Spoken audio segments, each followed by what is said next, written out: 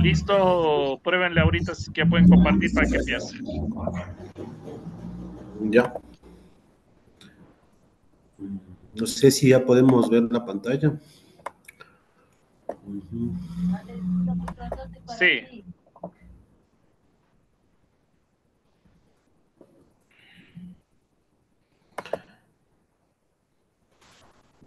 Listo. Eh, ¿Puedo empezar? Cuando tú eh, estés dispuesto. Listo, ingeniero. Bueno, ingeniero, buenas noches. Distinguidos ingenieros de la mesa del tribunal, igual buenas noches. Me presento, mi nombre es Edison Arias. Soy parte del, del grupo que organizó esta, este, este proyecto eh, le presento a, Gabriela Altamirano, cual es mi, mi, compañera también que, con la que hicimos este proyecto. Eh, bueno, para empezar, ¿no? Nosotros nos enfocamos eh, y tomamos como, como tema la elaboración de puré de brócoli orgánico para niños de 6 a 5 años en el Cantón Mejía, en Machachi. Bueno, los autores, ¿no? Edison Marcelo Arias Herrera, me presento, es mi persona, María Gabriela Altamirano, que es mi compañera. Bueno, siguiendo con el tema de la, de la presentación, eh, ¿qué, es, ¿qué es lo que pretende esta investigación? Lo que nosotros pretendemos con esta investigación es indicar cuál importante es la, la elaboración de brócoli orgánico, ¿sí? de calidad y prestar un buen servicio a la ciudadanía. Sí, eso es lo que nosotros buscamos dentro de este proyecto. ¿sí? ¿Por qué? Porque dentro de, de, de, del ámbito, eh, se podría decir, de, del ámbito a nivel de país, a nivel de donde nosotros hicimos la investigación, que es a nivel de, Machachi, nosotros vimos que no hay el consumo adecuado del puré de verduras. Es por esto que nosotros hicimos una introducción breve de lo que es este, este, este vegetal. La, la, idea es brindar un producto de brócoli orgánico congelado que garantice una alimentación sana, como lo mencionaba anteriormente, estableciendo normas de calidad e inocuidad que brinden seguridad alimentaria al ser, al ser consumido, ya sea por niños o por adultos. Sí, como nosotros mencionamos al inicio, la idea es que nuestro producto sea consumido netamente por niños de 5 a 6 años, puesto que es un producto saludable y contiene vitaminas y todo lo que necesita un niño para poder ser sano. Bueno, nuestro procedimiento, nuestro proceso de puré de brócoli está en base a POAS. Y en base a, en base a cumplimiento de normativas y legislaciones. Por el siguiente paso va a dar una explicación mi compañera eh, referente al problema. Eh, muy buenas noches, eh, distinguido tribunal, ingenieros. Eh, yo les voy a dar, eh, soy parte del proyecto que estamos haciendo sobre el puré de brócoli orgánico para los menores de seis meses y cinco años. El problema es en la actualidad de nuestro país, lo que es en la ciudad de Machachi. Hemos observado que no se está consumiendo por lo general el brócoli, más se está exportando hacia afuera. Entonces nosotros hemos eh, investigado y hemos visto que en, la ciudad de Machachi eh, no, no hay puré, entonces, y, es más el orgánico. Entonces, eh, lo que es tal como la elaboración de puré de, de brócoli, debido a esto se ha, ha, visto el incremento en la producción de productos con ingredientes eh, como son los aditivos. Entonces, por lo general, el problema es aquí que se ha consumido más aditivos. Eh, en los productos y existe una desnutrición o enfermedades en los niños del Cantón Mejía. Ese es el problema de lo que se tiene aquí en la ciudad de Machachi. Hemos planteado, eh, hemos hecho un planteamiento de problema. Como pueden ver, eh, hemos hecho un pequeño resumen, que es lo que en la actualidad existe productos alimenticios con aditivos como hemos hablado en el problema, lo que es los aditivos y sustancias que tienen los, los alimentos y con eso no es eh, lo que es, no tienen su valor, pierden su valor nutricional. Y, también igual los aditivos son unos conservantes que eh, en función mejoran el sabor, el aspecto, la textura, el color de los alimentos así como también eh, mejoran su conservación. Eso es lo que hacen los aditivos. También cabe mencionar, ¿no? Que dentro del planteamiento del problema, ¿sí? Nosotros hemos visto que ha crecido en el entorno los hábitos, los malos hábitos alimenticios, ¿no? Eh, como podemos observar, eh, en nuestro alrededor hemos visto a niños que ya están consumiendo a cortas edades fritos, como mencionaba mi compañera, eh, productos que tienen aditivos, composiciones que son dañinas a largo plazo a la salud. Entonces nosotros en base a esto, en base a este problema, nos hemos visto, no hemos tomado como dirección ¿sí? el enfocarnos en brindar un producto que pueda ayudar a los habitantes pequeños que están entre 6 y 5 años, ¿no? puesto que a esta edad es donde el cuerpo necesita más nutrientes. Nosotros nos enfocamos en base a este problema, ¿sí? que, son, que es la, niñez, prácticamente la niñez, porque si nosotros no damos una, buena, una buena alimentación a la niñez, sí, a futuro vamos a, va a conllevar que los niños tengan enfermedades preexistentes como el como cáncer, eh, como la diabetes, y debido al, consumo de, de, esto, de productos con conservantes o productos que ahorita por el momento son dañinos para la salud. Eh, visita.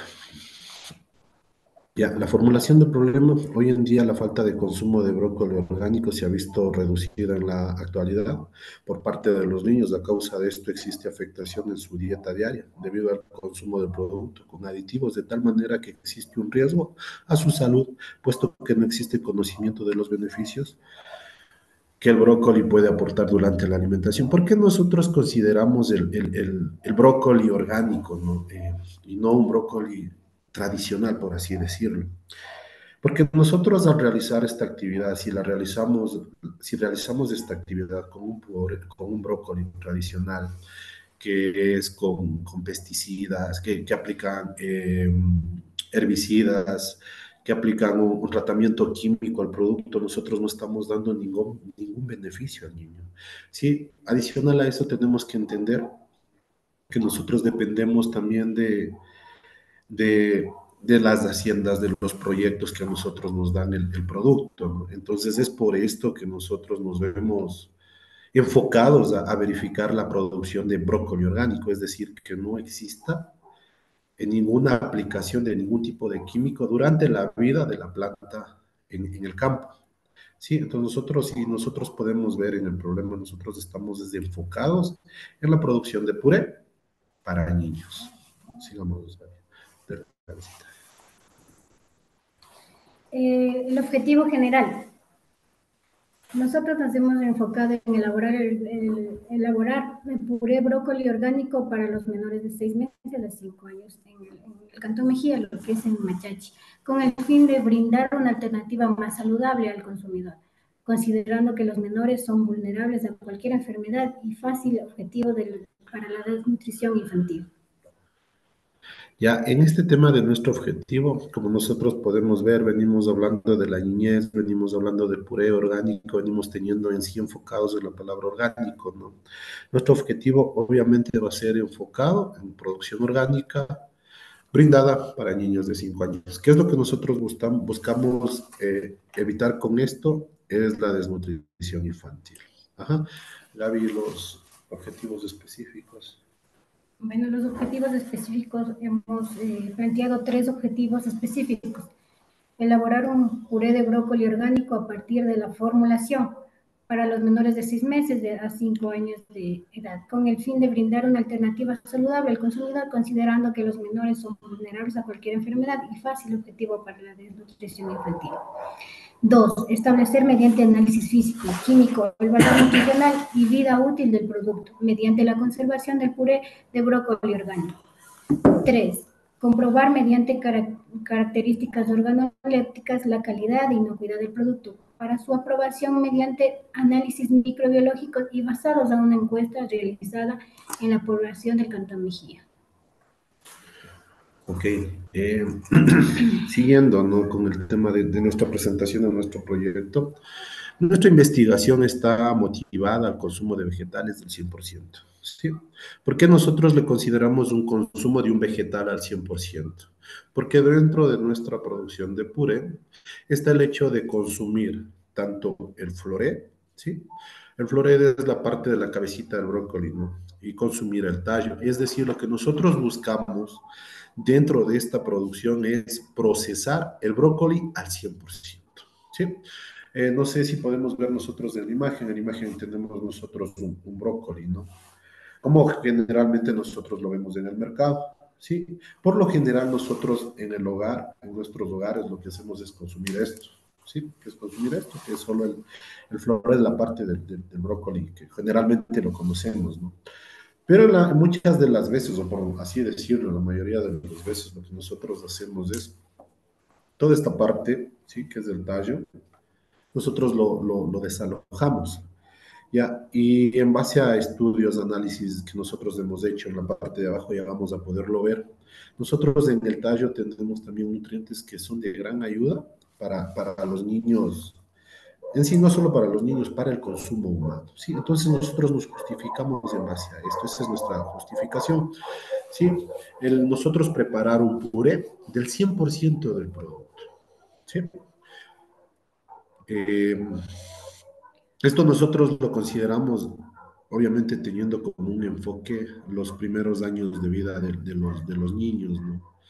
Esto, como eh, valga recalcar y rebundar en lo mismo, lo que nosotros buscamos es que la alimentación de los niños sea la adecuada, sea la óptima para que en el desarrollo y en la adultez de ellos los niños no tengan ningún tipo de, de, de enfermedades. Eh, las legumbres son los primeros sólidos que un niño debe comer. Los vegetales son riquísimos en vitaminas y fructosa, energía. Su ingesta al día aporta vitaminas, sales, minerales, antioxidantes y fibra. Además es baja de calorías y favorece la eliminación de toxinas del organismo. Las verduras aportan especialmente la vitamina A y sé que son fundamentales para la prevención de enfermedades. Eh, bueno, nosotros eh, ya para hablar un poquito más profundo del tema, por así decirlo, nosotros eh, tomamos como el tema de, aditivos, ¿no? Nosotros vimos que un aditivo puede ser peligroso a largo plazo, como iniciamos, mencionamos al inicio, si es verdad. Nosotros realizamos eh, investigaciones eh, nos basamos en base a lo que es el Códex Alimentario, en base a lo que es las legislaciones de la eh, legislaciones de, de, de, la Unión Europea, legislaciones de, la FDA, legislaciones que están enfocadas en los alimentos, ¿no? Entonces nosotros tenemos los antecedentes históricos, nos bajamos, si ustedes pueden ver en la pantalla, regresemos. Si ustedes pueden observar en la pantalla, podemos ver de dónde nosotros sacamos toda esta información. Sacamos del Códex del 1981, norma para alimentos envasados para lactantes y niños. Es decir, nosotros para poder realizar una producción de puré, nosotros nos enfocamos en el envasado para lactantes y niños. Es decir, un envasado, ¿sí? No puede, para un, para un infante, no puede ser igual para una persona adulta. ¿Sí? O no puede ser considerado igual como otro alimento o como otro producto. Es decir, yo no puedo realizar un envasado de, puré como un, como un envasado, por así decirlo, de un lácteo. ¿Sí? ¿Por qué? Porque el envasado del lácteo a la larga, si mi material, si mi, si mi, yo, ocupo un mal material de empaque, por así decirlo, yo corro el riesgo de que corro el riesgo de tener eh, migración, corro el riesgo de tener eh, alérgenos en, el material de empaque, ¿sí? Entonces nosotros podemos ver que nosotros nos enfocamos netamente en el envasado para niños. Es decir, nuestro proyecto está enfocado en, en, en, varios puntos, ¿no? en el material de empaque, en que el producto se, se contemple que sea orgánico. Estamos enfocados igual en, en como en el tema del etiquetado, ¿sí? En el tema de cómo desarrollar una producción, en el tema de lo que es el uso de, en la aplicación de, los, de las BPMs, la aplicación de los POAS. Estamos aplicando nosotros en base a legislaciones, ¿sí? Todo lo que tiene que ver con calidad e inocuidad alimentaria, ¿sí? Si bien es cierto, hay que considerar qué calidad hace referencia a la presentación del producto. Es decir, hace referencia a lo que el cliente quiere. Y e inocuidad y seguridad alimentaria hace referencia a que, a que el cliente al consumir nuestro producto no le cause daño, no le cause ninguna, ninguna enfermedad o Dios no quiera, le cause la muerte, ¿sí? Entonces nosotros estamos enfocados en, todo esto, ¿no? Estamos enfocados, tratamos de atacar, con Gaby estuvimos haciendo este informe, este proyecto, tratamos de atacar todas las posibles causas que podrían eh, generar algún problema. ¿sí? Entonces nosotros realizamos un análisis de riesgo, dentro de este análisis de riesgo nosotros analizamos los por libres, eh, problemas que se nos podrían generar durante la producción, durante la materia prima, con el personal, eh, con el material de empaque, durante la manufactura. Es decir, nosotros analizamos todo antes de desarrollar este análisis. Sí, como les, volviendo al tema sin desviarnos mucho, sí, como ustedes pueden ver, nuestros, nuestro proyecto está enfocado en base, como les, mencionamos al inicio, está enfocado en base a análisis de a legislaciones y normativas vigentes, ¿sí? que se manejan a nivel mundial. Adicional a eso, manejamos la, la legislación interna del país, que, que, es la, el ARSA y la INE. Eh,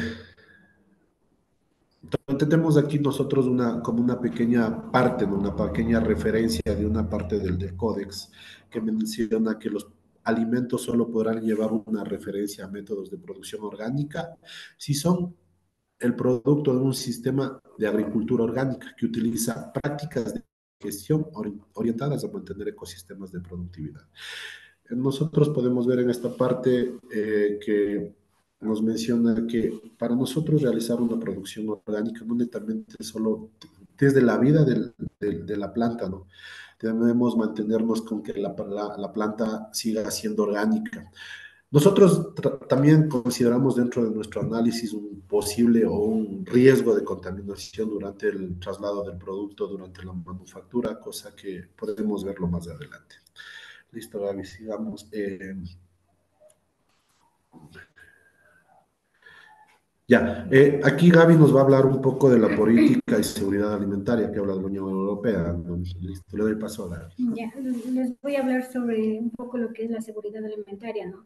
Eh, dentro de la Unión Europea, lo que nos rige principalmente son en el artículo 168, que es la salud pública, y la 169, que es protección a, a los consumidores del trato del funcionamiento de la Unión Europea. Esto quiere decir que el objetivo de ellos es eh, lo que es de la granja a la, a la mesa.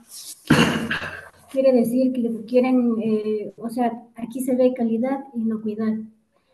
Nos cuidan mucho lo que es en la Unión Europea, lo que es el alimento, protegen al consumidor, el tiempo, se garantiza el buen funcionamiento del mercado interior. Lo que es en la legislación europea abarca todo lo que es la cadena alimentaria. Como les decía, que es de la granja a la mesa. Aquí también tenemos las ventajas y desventajas lo lo que tiene el brócoli.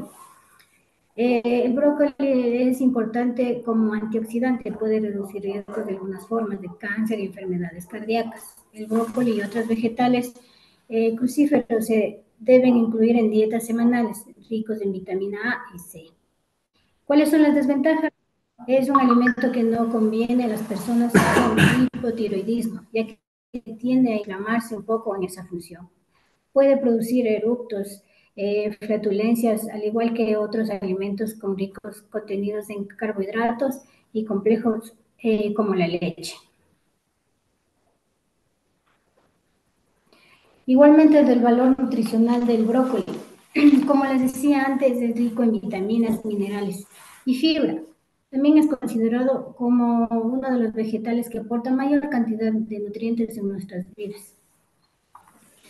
Eh, como se puede decir, en, en, 100 gramos de producto fresco tiene solo 39 eh, calorías y 4.5 gramos de proteína. El brócoli es muy rico en ácido fólico, azufres, vitamina C, vitamina K, calcio, hierro, potasio, selenio y zinc.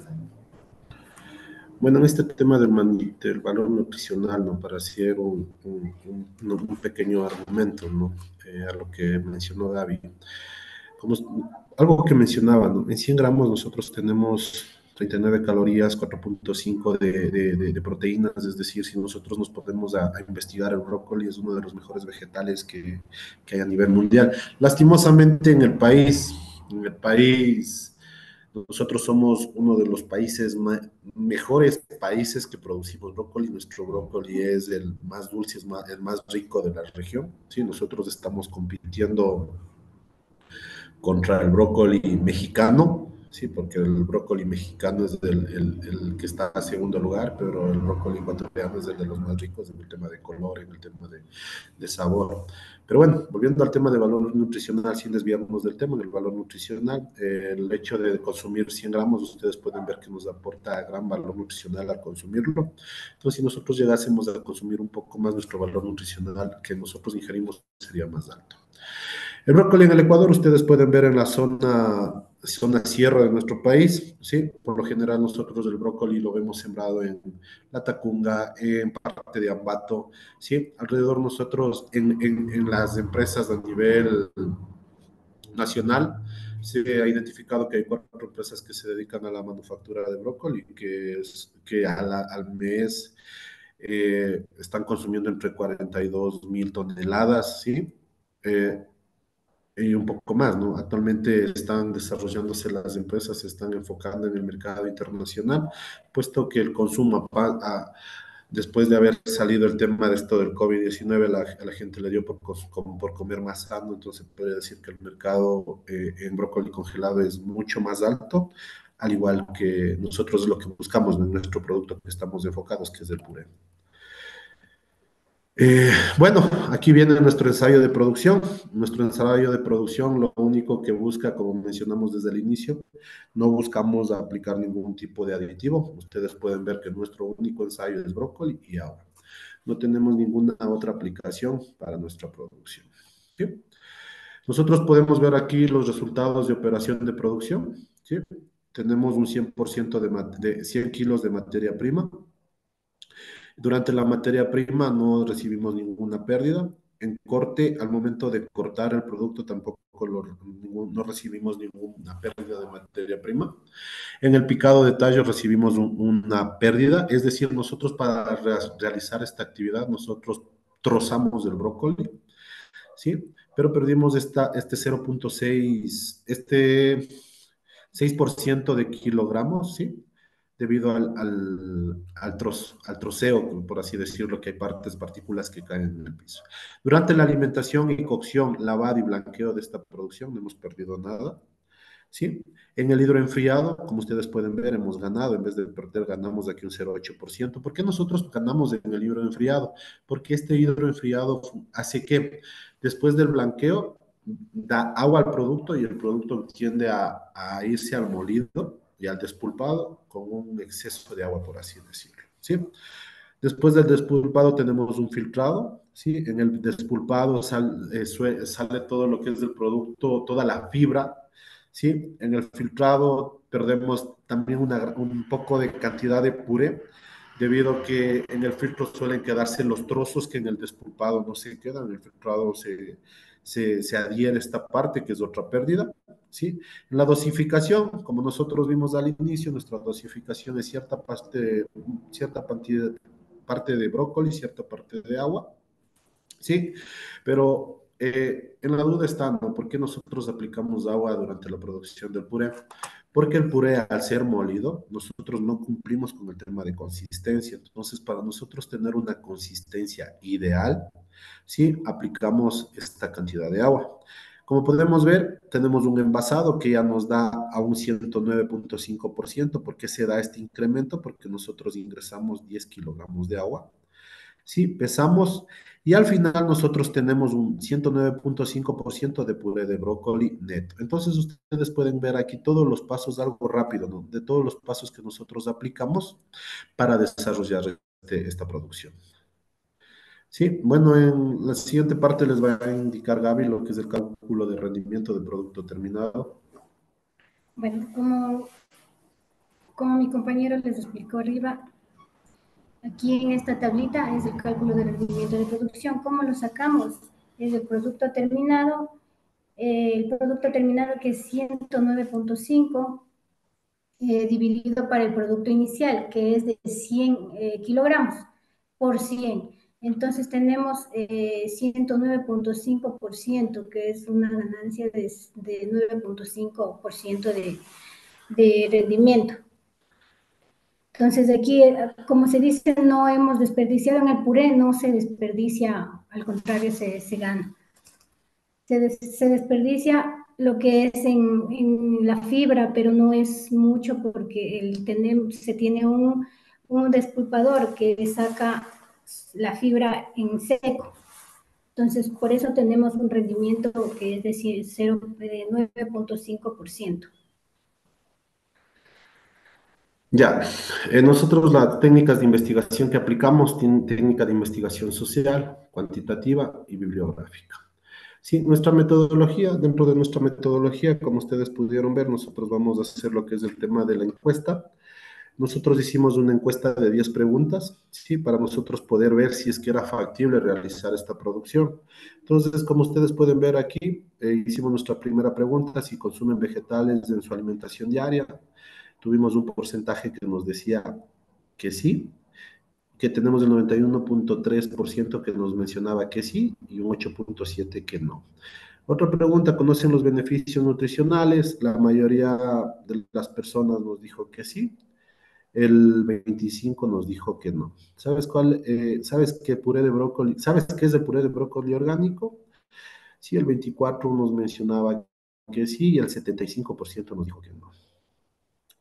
En los supermercados compras normalmente has encontrado puré de brócoli. Como podemos ver, hay un alto índice que nos dicen que no han comprado puré de brócoli. Es porque en el mercado nos mencionaban algunas personas durante la encuesta ¿no? que no han encontrado puré de brócoli, pero que sería algo novedoso y nutritivo, o sea, algo que ellos nos decían, ¿no? Que podría ser, bueno, bueno, si existiera producto vegetal en tu puré en el mercado actual, ¿lo consumirías? El 92.5 nos dijo que sí, el 7.5 nos dijo que no. ¿Consumirías puré de brócoli orgánico y darías este producto a tus hijos? ¿Sí? El 97.9 le vio como una gran opción y el 2.1 lo vio como una como no favorable, ¿no? ¿Qué probabilidad hay que consumas de puré de brócoli orgánico? El 87.6 nos decía que sí están de acuerdo que consumirían el puré de brócoli orgánico, puesto que es un, un vegetal nutritivo, ¿no? Y un 1.2 nos decía que no. ¿Cuál es la presentación que tú comprarías para el producto? Nosotros hicimos aquí una pregunta en base a la presentación. Hicimos de 250, de 500 y de 1000 gramos. La que mayor acogida tuvo fue la de 500 gramos, ¿sí? Porque nos mencionaban que eh, se les va a hacer más fácil, van a tener más, al ser congelado, van a tener ellos chance de tener en la oportunidad, perdón, van a tener la oportunidad de tener el refrigerador, en, el refrigerador por mucho tiempo y, aplica, y voy a utilizarlo en varias comidas. ¿no? Si el puré tiene una duración de 12 meses para que puedas consumirlo, ¿lo comprarías? Sí, la gente nos decía que el 97.1% sí está de acuerdo que, que, que, tenga 12, días, 12 meses para que se pueda consumir y el 2.9 nos decía que no. Y la última pregunta, ¿crees que es necesario que, se, que el envase del producto tenga información nutricional, recetas para su preparación y certificaciones de procesos. El 99.6 estuvo de acuerdo en que tenemos que tener certificaciones, eh, tablas nutricionales y recetas, y solo un 0.4% nos mencionaba que no. Bueno, eh, para, hacer, para indicarles nosotros desarrollamos un, un diagrama de flujo, ¿no? Como podemos ver, aquí tenemos nuestro diagrama de flujo. En nuestro diagrama de flujo tenemos brócoli, que es el ingreso de recepción de materia prima. Tenemos el corte de trozos que se hace al producto, el picado del tallo, la alimentación, la lavadora. Aquí consideramos nosotros del agua potable de cuánto, a cuánto, cuánto trabajaríamos, que sería del 0.3 al 1.5% en ppm, partes por millón. Esto obviamente enfocado a legislaciones, ¿no? ¿Sí? Eh, a paso seguido haríamos un blanqueo, ¿sí? El blanqueo sería con vapor. Consideraríamos nosotros de aquí nuestro PCC, que es un PCC, es el punto crítico de control, puesto que si nosotros no, no controlamos temperatura y no realizamos peroxidasa, eh, bueno, controlaríamos en base a peroxidasa, ¿no? que el funcionamiento sea el adecuado del blanqueo. ¿Sí? Nuestra temperatura debe estar sobre los 90 grados centígrados. Si no tenemos nosotros esta temperatura, corremos el riesgo de que el producto tenga carga microbiana alta. Dentro de esto, los patógenos, como son Listeria, Salmonella y coli. Después del blanqueo tenemos el hidroenfriado. En este hidroenfriado igual aplicamos agua potable del 0,3 al 1,5. Tenemos el molido, el despulpado, el filtrado, la dosificación de agua. Podemos ver que tenemos el envasado en 500 ml de vidrio en un, envases de vidrio, ¿no? Tenemos el pesado, el sellado, el etiquetado y el congelado menor a 18 grados centígrados. Aquí podemos ver nosotros una, unas imágenes de nuestro ensayo donde podemos ver que el producto se está blanqueando, ¿no? Lo que nosotros vamos a utilizar aquí son lavadoras, blanger, pulper, filtros, balanzas digitales, cuchillos, Sí, podemos ver aquí un hidroenfriado que está así, que está pasando aquí. Si ustedes pueden ver aquí una parte del, tallo del brócoli que se está hidroenfriando después de haber pasado por el blanqueado. Tenemos el, el ingreso al molino del producto. Sí. En las áreas de producción, como vimos arriba, nosotros tenemos el, nuestro diagrama de flujo, ¿no? Sí, aquí menciono sobre las áreas de producción. Nosotros para determinar el, funcionamiento de nuestro proceso realizamos análisis físico-químico al producto, es decir, realizamos mediciones de consistencia, medición de pH, medición de humedad. Sí, nosotros podemos ver el cálculo aquí de la humedad. Aquí tenemos imágenes de cómo nosotros realizamos nuestra, nuestros, nuestro proceso de análisis físico-químico, tenemos consistencia, pH y humedad, tenemos la verificación del, del BRICS, que es de los grados BRICS, son la, cantidad de azúcar que tiene el producto, tenemos la medición de la peroxidasa, ¿sí? Tenemos el análisis de, placas, ¿no? En, como ustedes pueden ver, aquí hay unas placas Petri, ¿sí? En la cual nosotros realizamos la siembra microbiológica para determinar qué tan factible es trabajar eh, con el puré de brócoli. Igual se podría decir que en cierta parte nosotros hicimos validación también del puré porque netamente puré no se ha trabajado. Eh, bueno, en lo que nosotros hemos investigado no hemos observado que se trabaje con puré de brócoli en el país. Eh, nosotros hemos iniciado con esto dentro de nuestro proyecto. Y como podemos ver en esta imagen está el producto final. Bueno, del análisis de vida del valor nutricional, podemos ver aquí un análisis del, de un laboratorio certificado, no sé si lo conocemos, de Steyla. Hicimos un, una tablita de valor nutricional, entonces aquí tenemos todos los valores nutricionales del puré de brócoli que hicimos nosotros. ¿sí? Podemos ver aquí todos los datos ¿sí? del valor nutricional que tiene nuestro producto. Tenemos las calorías, ¿sí? Todo referente al valor nutricional. El tema de estabilidad de vida útil del producto de puré de brócoli, ustedes pueden ver aquí tenemos una tablita de vida, ustedes vieron arriba que les dimos dos, 12 meses ¿no? para el consumo del brócoli. Nosotros hicimos esto enfocados al tema del de, de, valor nutricional. Obviamente para nosotros, para, para estabilidad de vida útil del producto, perdón. Nosotros para realizar una estabilidad de vida útil del producto, nosotros debemos enviar al laboratorio al tiempo de vida útil que el, que el producto tiene.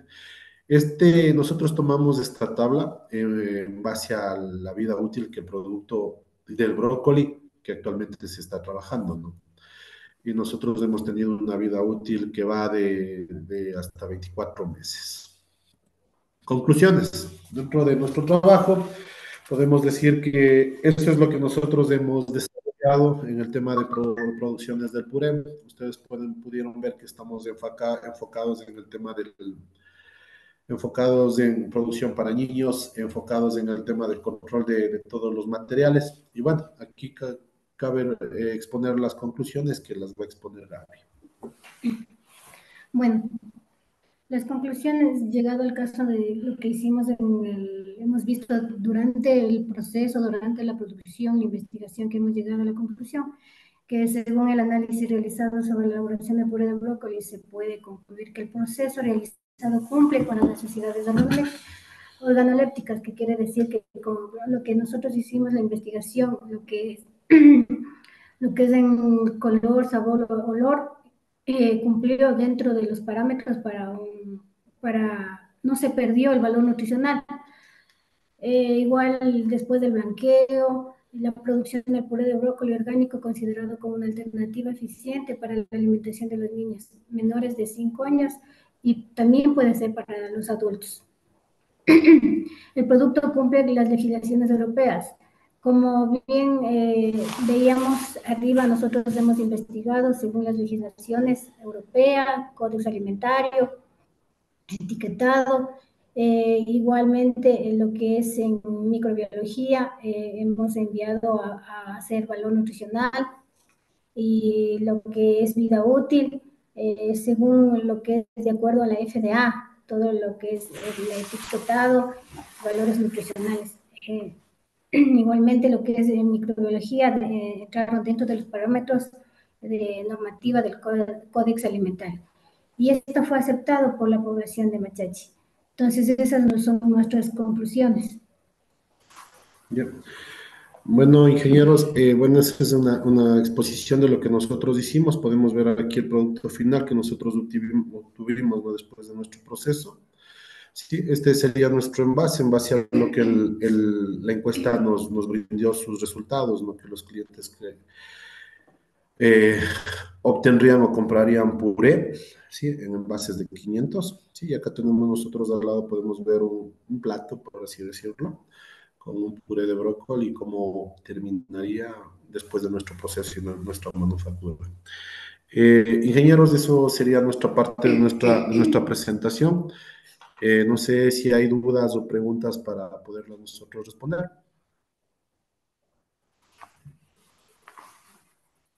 Listo, muchas gracias, Edison. Gabriela, comencemos con Ricardo, por favor.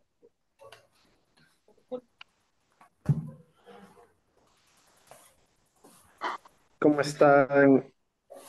Edison, muy bueno. Bueno, primero buenas noches con todos. Buenas noches, Fernando, Paola. Un gusto poder saludarles, ser parte de este tribunal.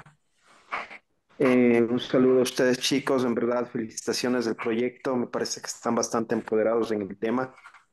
Se ve que lo han trabajado desde el origen de la idea como tal, lo han llevado a cabo todo lo que es la parte técnica y tecnológica. Creo que lo han explicado de manera bastante clara. Eh, tengo algunas dudas justamente en esta explicación, pero ha sido bastante buena y bastante clara lo que ustedes han detallado en el paso a paso para la obtención de este producto. A ver, el tema, a mí se me vienen algunas preguntas cuando justamente hablamos de productos orgánicos. En algún momento veía justamente el tema de la producción de salsas de tomate. Bueno, no, no es el caso del brócoli, pero por ser un vegetal, puede que esté sujeto a las mismas características que tienen los productos orgánicos.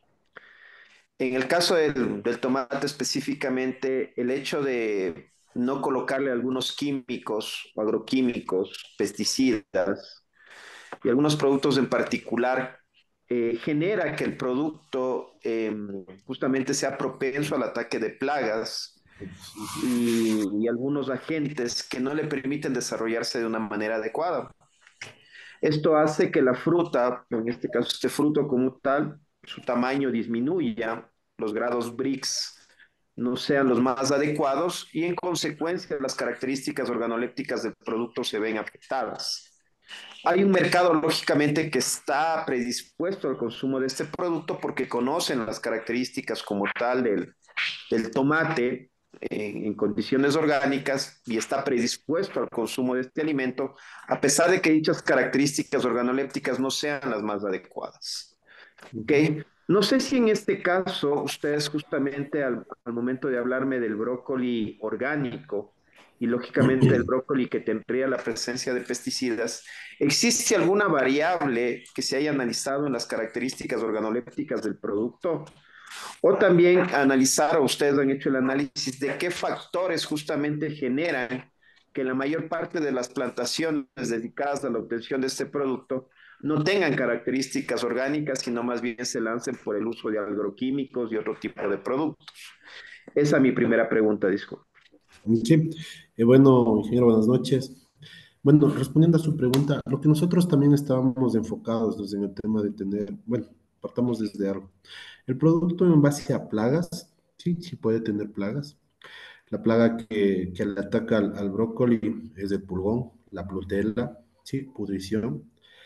Lastimosamente eh, son plagas que deben ser controladas y como nosotros pensamos controlarlo en campo es de base a monitoreos, igual en base a hacer, en base a siembras no a, campo abierto, sino en base a, se me la, eh, como, como las casetas que tienen las plantaciones, invernadero, y a trabajar en base a invernadero. Y lo que nosotros estábamos buscando para aplicar a esto es realizar una certificación kosher, ¿no? Eh, como sabemos, el tema de la certificación kosher, que es lo que pide, ellos lo que no aceptan es tener insectos. Entonces, nosotros pedir a cualquier proyecto que nos quiera vender de producto, quiera ser nuestro proveedor, tener esta certificación. Y nosotros, obviamente, no vamos a tener un producto al 100% fuera, fuera de insectos. Es algo ilógico pensar eso, ¿no? Puesto que tenemos un margen de error. Pero nosotros estábamos eh, viendo con Gaby también dentro de ese riesgo nosotros eh, queríamos, pensamos en colocar un, rango en el cual podríamos aceptar los insectos. Eh, en base al muestreo que nosotros hicimos con Gaby, mencionábamos que el, puré, al ser molido, sí, primero al ser molido, eh, el tema de insectos no me, veo muy afectado por insectos por el hecho de ser triturado y en base a lo que nosotros hemos visto en en revistas y nos hemos empapado de información, mencionaban que, por ejemplo, hay purés como el puré de, de coliflor, que lo trabajan con, con, porcentajes de 15, de 20 de, de, de insectos, ¿no? de, de pulgón. Si bien es cierto, es una plaga, es una plaga este insecto, pero al ser triturado, al ser molido, eh, no afecta y no, no genera ningún problema al tema de salud. Entonces, es por esto que nosotros si vemos el brócoli tratamos de darlo en puré, porque si vendiéramos en, en floredo, en, en, en, producto completo, tuviéramos este problema, puesto que sería más fácil de identificarlo. Mm. De igual manera, lo que es pesticidas. Nosotros hemos visto también eh, la posibilidad de que el proveedor que nos venda lo que es orgánico eh, tiene que primero analizar, eh, certificarnos que en un laboratorio que no tiene pesticida. Entonces, para poder nosotros eh, producir un, un, puré 100% orgánico.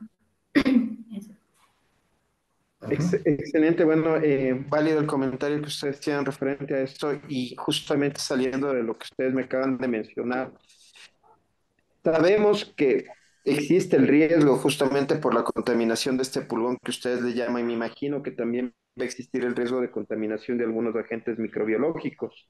Si estamos hablando de un producto orgánico, generalmente aumenta la probabilidad de contaminación. Entonces ahí ustedes, la parte tecnológica fue un papel fundamental. Luego mencionaban que tenían un tema, un control bastante minucioso en lo que son los, la destrucción de los carbohidratos complejos, sobre todo el tema de oligosacáridos, porque pueden generar problemas gastrointestinales, flatulencias, comentaban ustedes. Y ahí viene este tema. ¿Cuál es el control que ustedes lo han demostrado? No sé si lo han, lo han corroborado de manera en, en laboratorio como tal o tal vez en base a normativas. ¿Cuál es este protocolo, este procedimiento que se debe tener un control exhaustivo para garantizar en primer lugar la inocuidad del producto alimenticio y en segundo lugar, garantizar que todos estos oligosacáridos sean destruidos para no generar las flatulencias y garantizar que las vitaminas que justamente contiene el brócoli, que ustedes mencionaban algunas, no sean destruidas por este proceso tecnológico y se conserven en el, en el producto procesado. ¿Cuál es este punto crítico en el cual ustedes garantizan la inocuidad y que estas, esto, estas vitaminas se conserven y los oligosacáridos se destruyen? Ya, en este punto eh, me regresé a las diapositivas ¿no? para indicarles una parte. Nosotros consideramos como punto crítico de control el blanqueo. Sí, porque nosotros antes del blanqueo vamos a tener producto crudo, sí, después del blanqueo ya tenemos producto cocinado.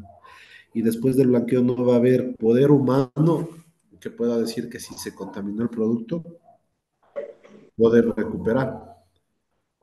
Entonces nosotros consideramos un punto crítico de control a nuestro blanqueo. Nosotros, en base a los análisis que hicimos, eh, nosotros debemos trabajar a 90 grados centígrados Vamos a controlar en base a peroxidasa, 60 segundos.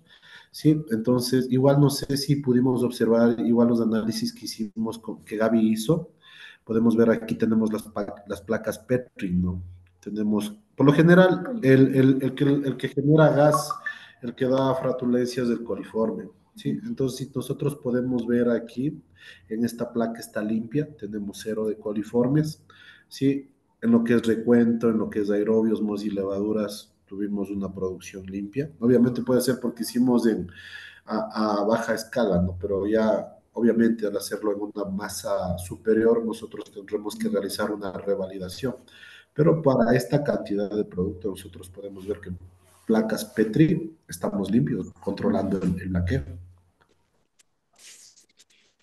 Ok, bueno, interesante. Sí me parece bastante, bastante exitoso en realidad y no sé si se merecería unas segundas, unas segundas o terceras valoraciones para ver si en realidad estos resultados se repiten, porque repito, siendo un producto orgánico, eh, sí es la probabilidad de contaminación existe, pero ustedes me comentan que estamos en cero, entonces estaría prácticamente exitoso este tema. Eh, repito, no sé si en alguna normativa ustedes se basaron justamente para eh, tomar en cuenta esta temperatura. Sí, en, en, en, las, en las normativas que nosotros nos basamos son en las normativas de la Unión Europea y el Códex Alimentario. Eh, en estas normativas nos mencionan ¿no? a qué temperatura nosotros debemos trabajar. Por ejemplo, la la Unión Europea nos dice cualquier producto o cualquier patógeno muere mayor a 70 grados. Entonces, como podemos ver nosotros, en, como pudimos ver en, nuestra, en nuestro diagrama, nosotros estamos trabajando a 90 grados centígrados. Pero obviamente no. ¿Qué, ¿Qué, estamos controlando aquí? ¿Qué pasa que si yo doy más, más, más cocción a mi producto? Listo, yo mato patógenos, mato bacterias, pero mi, mi, tema de calidad de producto voy a perderlo. El tema organoléptico eh, tiende a disminuir. ¿Por qué? Porque puede cambiar el, color, el sabor, la textura, ¿sí? Entonces, nosotros trabajamos a este límite porque nosotros vimos que después de esta temperatura yo ya corro riesgo de, de, de pérdida eh, organoléptica. Pero también me dieron buenos resultados de esta temperatura, como pudimos ver las placas fueron excelentes, estuvo limpia la producción. Y, y en base a nosotros buscábamos que la producción salga así.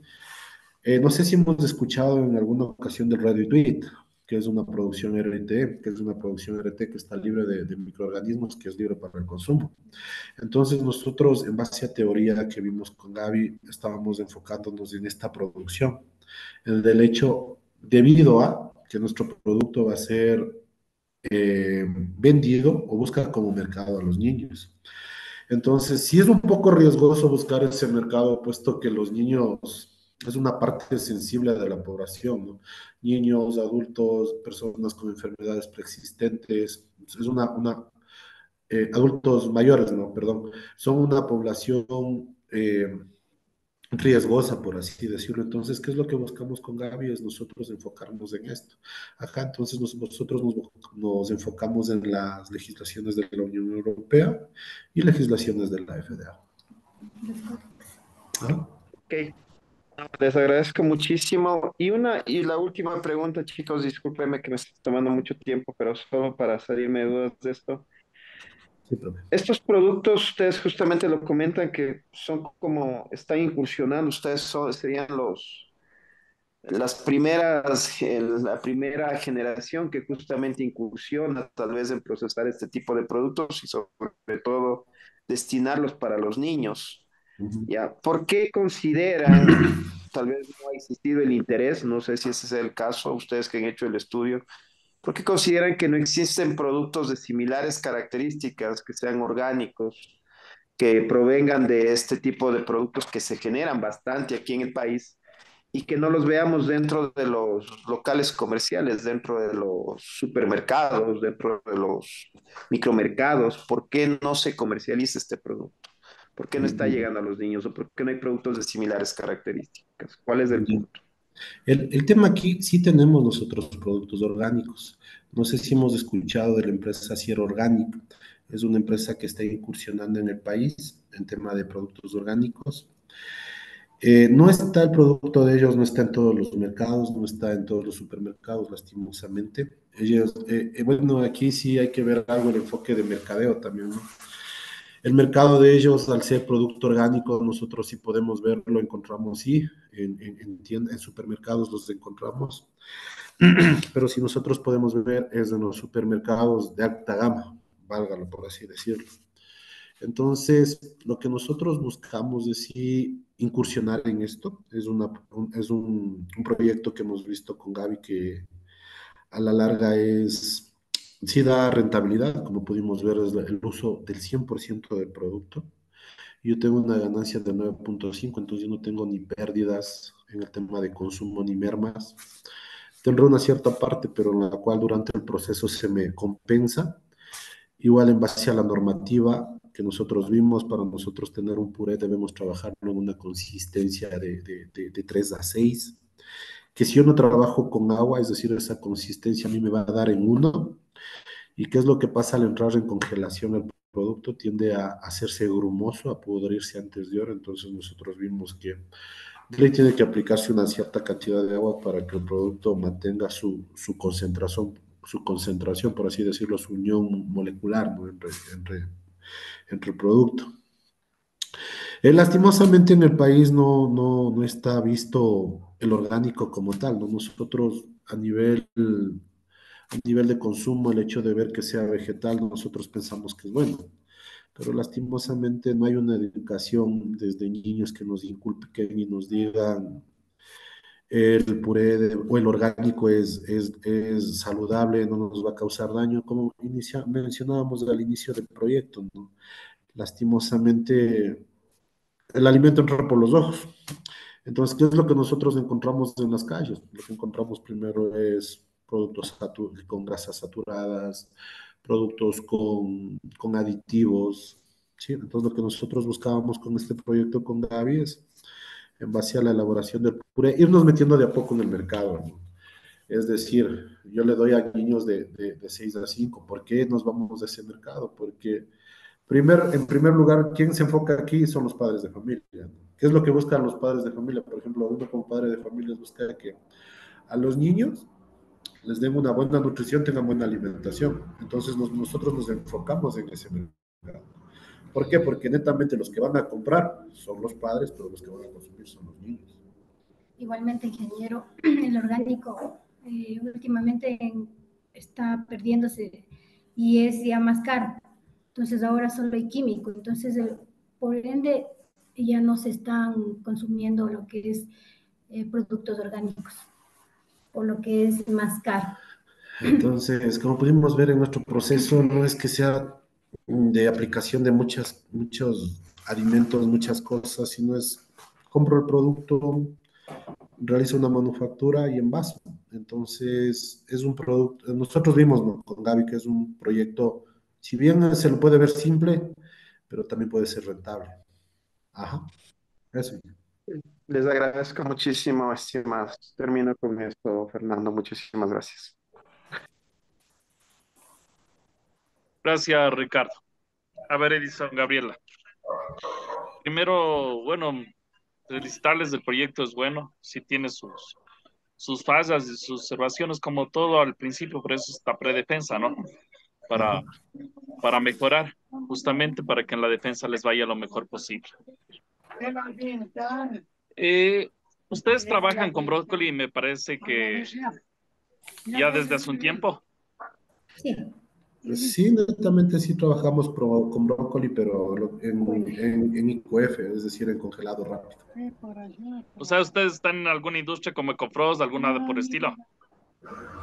Eh, se podría decir que sí. Nosotros trabajamos más como que maquila, por así decirlo. Trabajamos como una maquila. O sea, ya tienen, tienen esta en buena hora esta materia prima para poder de pronto alcanzar más adelante, quién sabe, en una emprendimiento, ¿cierto? Ajá. Ya. Eh, en el orden de las cosas, un poco han, han, fallado. Estaba viendo aquí su tesis, no sé si sería la última la que me mandaron esta, porque me mandaron algunas. El tema de los, en la metodología, hay que hacer el, análisis de características organolépticas. ¿Sí? Entonces, eh, le veo que estaba aquí más bien más después en la propuesta, ¿no? Las, las características organolépticas deben hacerlas posteriormente, porque veo que les tocaría posteriormente al, al, análisis de aceptación, pero realmente no se hace así, más bien se hace primero que el análisis de aceptación. Ahora, porque ya estamos ya como quien dice al último y no podemos corregir este detalle, les va a tocar poner en ese, en ese orden. Pero siempre primero se ensaya los productos, se ve las características organolépticas con un panel definido específico. En este caso, por ejemplo, podrían ser niños eh, de esas edades que prueben el producto y que nos den las características sensoriales. Ustedes saben que sensorialmente tenemos paneles, como quien dice, entrenados, semi-entrenados, no entrenados. Bueno, en este caso que puedan ser no entrenados, que sean los niños, por ejemplo, como consumidores potenciales, se me ocurre. Pero eso siempre se hace antes de ir a aceptar el producto para poder, poder definir una formulación. Porque incluso yo aquí me pregunto, ¿qué hicieron para mitigar el sabor del brócoli? que a muchas personas les disgusta. ¿Sí? Entonces, ¿cómo trabajaron este tema, las características sensoriales? Y primero, coméntenme esa parte. Y segundo, eh, les recomiendo ahora por, el, por lo que ya lo han hecho, ponerle después del, del análisis de aceptación. Mm, Pero como les digo, esto se hace primero porque es parte de la investigación de la formulación del producto. Eh, en, la tesis sí está el tema del análisis sensorial. Igual nosotros realizamos a, niños, podemos ver ahí en el, proyecto, sí está desarrollado el tema de análisis sensorial. Entonces tuvimos el tema de, un, cierto punto aceptable, por así decirlo, al, producto. Entonces sí, es por esto también que nosotros nos dio un plus, ¿no? Para seguir con el tema del proyecto en base a la producción de puré. ¿Y qué eh, eh, ingrediente utilizaron para mitigar el sabor del brócoli? En el, eh, para realizar el sensorial. Sí. O netamente para el producto en sí. Es que debieron para, igual para, para el producto final, ir escogiendo la fórmula mediante ensayos y decir, mm. este sensorial fue el, sino que más bien solo han hecho al final. Yo le veo el desorden, ¿no? Porque dice que con 24 o sea, con el 10% de la población que han hecho la aceptación del producto, han hecho la, el sensorial. O sea, después de eh, aceptar el producto, hacen el sensorial, que es un poco el desorden es de, de las cosas. Pero bueno, ahorita ya no pueden corregir ese tema, ¿no? Porque primero se hace el sensorial eso es de cajón. Primero el sensorial para poder saber cómo está bueno el producto, eh, los ensayos, las formulaciones. Ya tenemos la formulación ideal y ahí se coge el, el cómo es la muestra para hacer el, la aceptación del producto, pero del producto ya aprobado sensorialmente. Sí, nosotros sí realizamos pruebas de sensorial. Nosotros lo que, para determinar el, mitigar el sabor, ¿no? Para determinar cuál es el, eh, que la persona sepa cuál es el, puro, el, puré ideal. Nosotros lo que aplicamos era eh, ácidos cítricos, utilizamos lo que es esencias para realizar este sensorial entonces utilizamos diferentes tipos de, bebidas, entonces de esta manera nosotros también realizamos el análisis sensorial. Entonces, ¿qué es lo que hicimos en nuestro análisis sensorial? Es realizar cinco pruebas. Dentro de estas cinco pruebas estaba el, ácido cítricos, estaba uno con, un poco de, de, sal, otro con un poquito de azúcar, el otro el puré neto. Entonces las personas lo iban probando y decían, no, esto tiene eh, cierto, tiene algo. Entonces, no, no es orgánico, no es natural. Entonces, en cierto punto, de esa manera nosotros pudimos determinar eh, que el producto que nosotros estamos eh, vendiendo, por así decirlo, o tratamos de sacar a la, al, como proyecto, eh, cumplía lo que nosotros buscábamos, ¿no? Entonces sí aplicamos esto dentro de nuestro análisis sensorial. Si bien es cierto que usted nos dice que estaba mal ubicado, el tema del, del, del, del, proyecto, lo que nosotros buscábamos aquí era primero tener nuestro, nuestro, nuestra tabulación de las personas, saber si es que estarían de acuerdo y después al 10% de esta población que nosotros hicimos el, análisis, decirle, listo, todo, tuve yo un 20% que, que tuve aceptación. Bueno, dentro de este porcentaje quiero ver cuántas personas me dijeron que sí les gusta y no les gusta. En base a esa tabulación, al análisis que nosotros hicimos, pudimos ver que casi la mayoría de personas sí lo aceptó, que estuvo bueno el puré. Pero bueno, eh, valga también lo que usted nos menciona, ¿no? que hay que reformularlo y plantearlo como, como, que, como corresponde. En nuestro punto nosotros lo vimos del otro lado, entonces primero vimos si es que es factible, en base a la encuesta nos dijeron, sí, sí es factible, listo, ahora prueba. Si te gusta o no te gusta, como le mencioné, Inge, la mayoría de gente nos dijo que sí es, sí es apetecible, sí es gustoso. Entonces, por eso nos fuimos por esa metodología o esa manera de realizar el, el, desarrollo del, del, del informe. Para el sensorial, eh, la mayoría de, personas eran niños. sí, en el sensorial. Lo que nosotros hicimos, verá, hicimos el, análisis sensorial a personas que tenían niños en brazos, pero obviamente les preguntábamos a los, a los adultos, no a los padres. Entonces, ya del, nosotros cogimos a las personas, le, teníamos muestritas pequeñas de puré y les dijimos, prueba, prueba. Entonces hicimos el sensorial y los niños lo fueron probando. Mal voy a decir en que la mayoría de niños les gustó, ¿no? pero o sea, lo probaron. Y hay algo que considerar en el tema del brócoli con el tallo, ¿no? Por lo general nosotros estamos acostumbrados a consumir solo el floret, la parte que indicamos en la exposición, la parte verde. Pero el tallo le da una dulzura, un sabor diferente al, al brócoli. Entonces los niños estaban encantados, sí probaban, sí comían, y por eso es que nosotros, eh, nos dio, nos dio le, soy sincero, ingeniero, nos dio alegría el hecho de saber que nosotros eh, realizamos este puré entre floret y tallo, cambió el sabor, nos invito acá un, un molido, es un, sabor diferente al que uno se sabe de brócoli, es un sabor diferente, es dulce. Entonces los niños lo probaron, y les gustó, les gustó, sí, les, gustó y son los datos que tenemos de ahí en el proyecto. Por eso digo, o sea, sería bueno que, eh, no sé, algún rato poderles mandarles una muestrita para que lo puedan probar.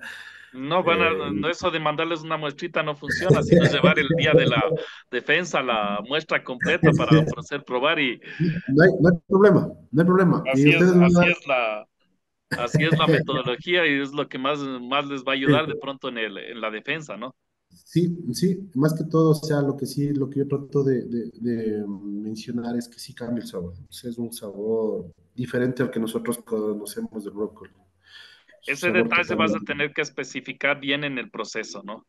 Ya, ok. En el proceso. Ya. Y bueno, a pesar del, del orden, sí han hecho de la manera correcta, porque eh, han hecho pruebas, han hecho ensayos y han ido viendo, si, tanteando si es que estas personas, si es que estos niños llegan a aceptar el producto, llegan sensorialmente las características. Entonces, explíquenos más del panel sensorial. Hagamos cuenta que no lo hicieron con el 10%.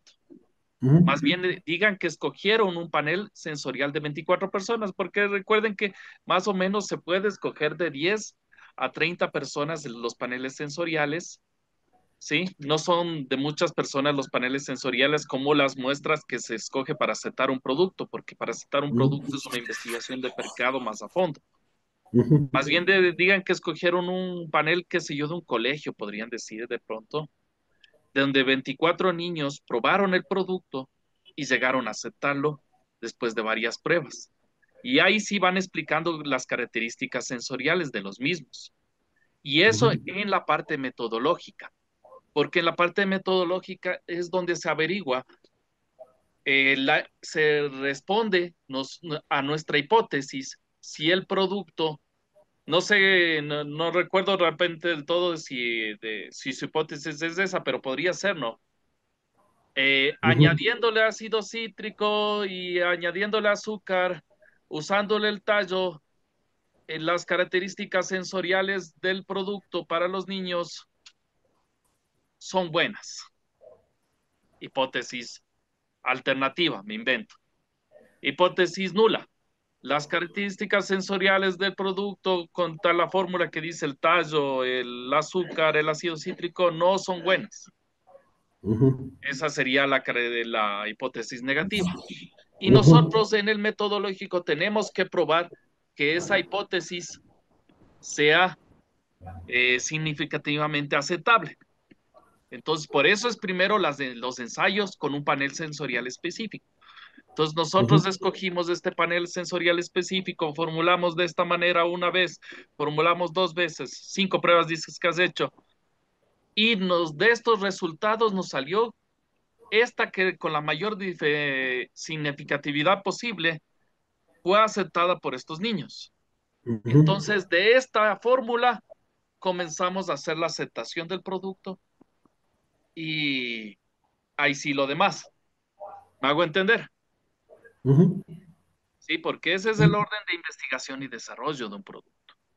Ajá, sí, netamente en realización en base a estos análisis sensorial, nosotros en, la presentación hablamos brevemente, pero sí tenemos más profundizado el tema del análisis. Si bien es cierto, como usted me menciona, ingeniero, en el, en el tema del, del, desarrollo del trabajo está de profundizar un poco más, pero sí lo tenemos enfocado en lo que usted nos menciona ahorita. Mejor si lo tienen porque ahí pueden expresarlo y en el orden que yo les, les comento, o sea. Y pueden ustedes de pronto comprobar su hipótesis y, y tal vez ahí los, el tribunal va a estar más tranquilo porque dice que es un producto bueno, es un producto probado. ¿Sí? ¿Ya? Eso primera parte. Ya, la del sensorial. Ahora, y bueno, ya me respondieron que, el ácido cítrico y el, tallo que ha sido dulce es lo que les ayuda, ¿no? Que a mí sí me, a mí me preocupaba la parte del sabor. Ya. Bueno, voy a probarlo y comprobarlo el, día de la defensa. Segunda parte, les recomiendo en, la, en las diapositivas eh, no poner tantas palabras, poner más gráficos ser más dinámicos y poner más de la parte metodológica y de la propuesta. lo que más nos interesa o lo que más importa de tu producto o proyecto es esa parte. Metodología y propuesta. La metodología y de la propuesta. Yo tengo una duda. Nos interesa el marco teórico, en si bien es cierto, por las características, los beneficios del brócoli, los antioxidantes y demás pero más importante va a ser la propuesta. Ya. y la metodología de los ensayos. Ya, yo tenía una pregunta, ingeniero. Por ejemplo, nosotros tenemos algunas fotos, algunos videos. ¿Se puede presentar eso en, defensa de tesis? Sí, sí, mucho mejor. Cosas dinámicas les ayuda. Sí, cosas que puedan ser palpables les ayuda a ustedes a, mejorar su presentación. Y los videos no son muy largos, ojo, porque ustedes tienen lo mismo que aquí, 30 minutos. No, no, más, más que todo, o sea, son videos, eh, son videos cortos, pero con Gaby no los, no los proyectamos porque no teníamos claro si es que podíamos o no para la defensa, la, verdad. Ajá. perdón que... Dime, ¿estás ahí? Sí, hola Fer, ¿cómo vas? Perdona, eh, me estaba sin internet, me estaba conectando y desconectando. Eh, no alcancé a escuchar si es que hicieron eh, el- la presentación eh, de los precios, costos. Ya te, ya va, ya iba por ese lado, si es que no alcanzaste a escuchar. Ya iba por ese No, lado. no alcancé a escuchar. Ay, ya, ya. Ya, justamente iba por ese lado, esa era la tercera parte de mi, de mi intervención. Ya. Ya que bueno que han aparecido las otras compañeras, pero yo creo que más bien para el- la próxima, que me ayude. A ver, ya. el tema de los costos me asombró mucho que a ustedes les costaba 0.71 el producto y el precio estaba a 2.83. Ajá. Y sin embargo, venden, ten- tienen que llegar a vender 710 unidades en un mes para alcanzar el punto de equilibrio. Ahí están como que los valores no, no me cuadran del todo. La compañera también nos, me podrá decir lo mismo. Así es, está súper alto el margen de ganancia. No creo que Y- salga 0.71 por Y para que le salga por- 710 de tanta, tanta venta, llegar al, al punto de equilibrio, ¿cuántos son los Sí. costos Sí. fijos? O sea, ¿Cómo hicieron ese nosotros- cálculo? Ya, nosotros nos enfocamos en base, como pudimos ver, o sea, el, el- el tema del, del ingreso en materia prima, nuestra producción va a ser netamente brócoli. Entonces, desde ahí partimos con el tema de, de costos, ¿no? Si bien es cierto, nosotros tenemos 710 envases a la venta al mes, ¿sí? Eh, consideramos nosotros esto enfocado a lo que en crecimiento de, producción.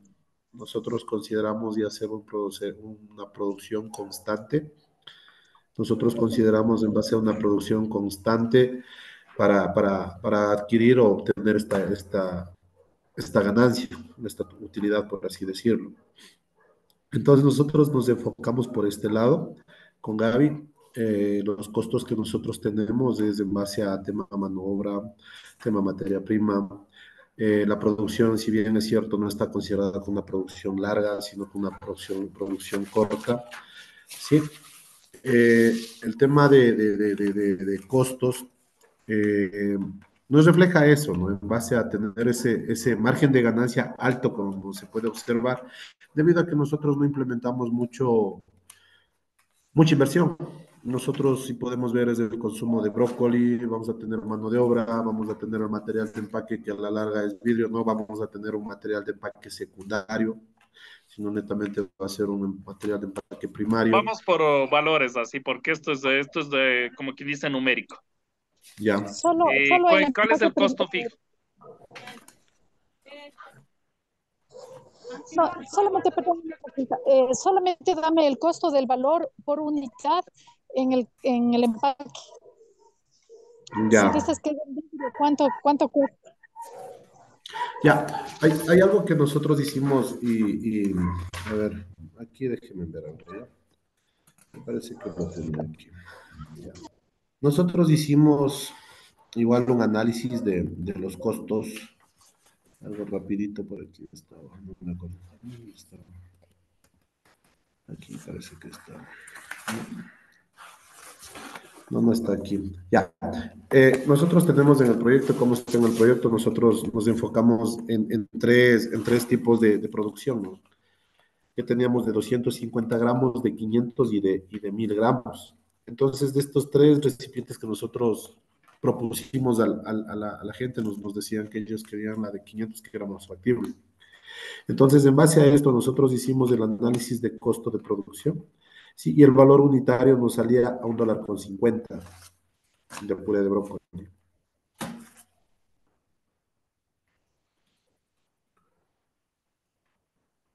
¿Valor unitario te salía cuánto? A un dólar con 50. El precio de venta. Ajá. Porque ahí estaba 2,53, ¿verdad? O 2,80 estaba. Sí, eh, estaba a 2,50, pero estaba enfocado a diferentes presentaciones. Sí, me parece que les indiqué. Déjenme ver. En realidad, en, la, en, el, en, el, en el punto de equilibrio, hubo, hubo, eh, ya especifiquen en la presentación que ganó, por ejemplo. Ajá. la que más aceptable. Sí, aquí de hecho. Yo te recomiendo mejor enviarme a, mí o a Jimena el Excel de costos y el Excel de punto de equilibrio. Ya. Porque ahí podemos ver las fórmulas y podemos ver en qué fallaste. Sí, porque no, no, no me cuadran de todos los valores. Yo creo que eso va a ser la mejor opción. Sí, no hay problema, pero o sea que quería de dónde que se entienda de dónde salió el valor, ¿no? Tenemos uno por punto 25, los 250, el de 500 y el de 100 gramos. Entonces, em, el de 1000 gramos, perdón. Entonces, de aquí tenemos nosotros. Yo sería más fácil que le haga solo con el de 250 si es que se ganó. Ya, entonces no, no empaparme mucho del proponerles envases. Mm, eh, cuando ya, eh, verás, en las preguntas, eh, puedes hacer, ah, bueno, ya la hiciste, ¿no? Las preguntas ya lo puedes hacer. La primera pregunta es, pregunta la presentación. ¿Es preferible la de, les gusta más 250, 500 o 1000 gramos? Ya. Luego, por la de 250 de gramos está dispuesto a pagar entre 1 y 52 dólares, entre 2 y 250, más de 250. Así más o menos se pregunta. Pero eso ya, debes tener resultados. Ahorita vamos a los costos. Si escogieron la de 250 como la que más aceptable, vamos a ver cuánto cuesta esa de 250. Hagamos base en, solamente en eso. Sí, de hecho no les ponía rango en el tema, no les ponía rango de costos de 2 a 2.50, sino les ponía el costo que no salió en el cálculo, pero por ejemplo es buena observación el hecho de que nosotros pongamos un, rango de costo para eh, tener, evitar inconvenientes en el tema de durante la producción. Bueno, ahorita para ver cómo salió realmente el punto de equilibrio, yo diría que nos pases los Excels, tanto a mí como a la profe economista. Ya, no habría problema. Yo le paso el. Creo que hay alguna opinión más de la. Ya. El Excel del punto de equilibrio. Evelyn, ¿estás ahí? Sí, profe, buenas noches. ¿Ahí me escucha, profe? Sí, sí, le escucho. A los estudiantes más. Listo. Sí, sí, bueno, compañeros, yo estaba, eh, como era las 8 la otra exposición, por eso yo ya ingresé. Sin embargo, eh, lo poco que pude escuchar, a mí me preocupa algo.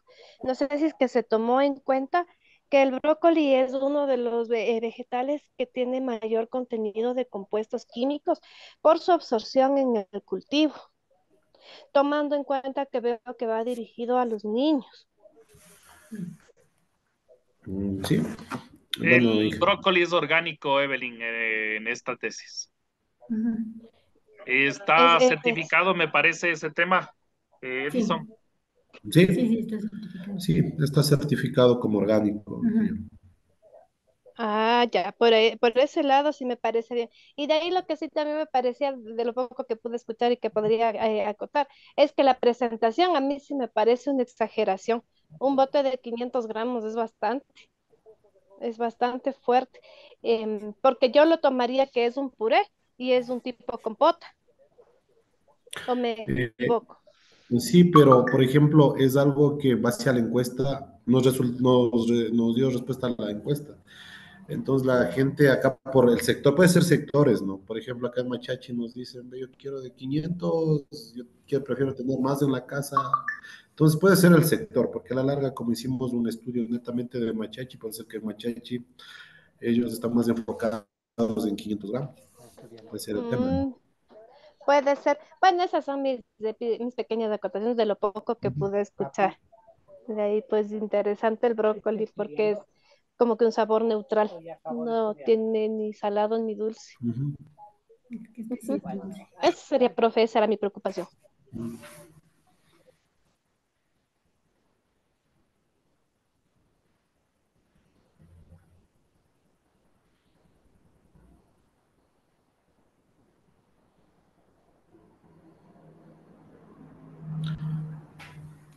No sé si hay otra observación.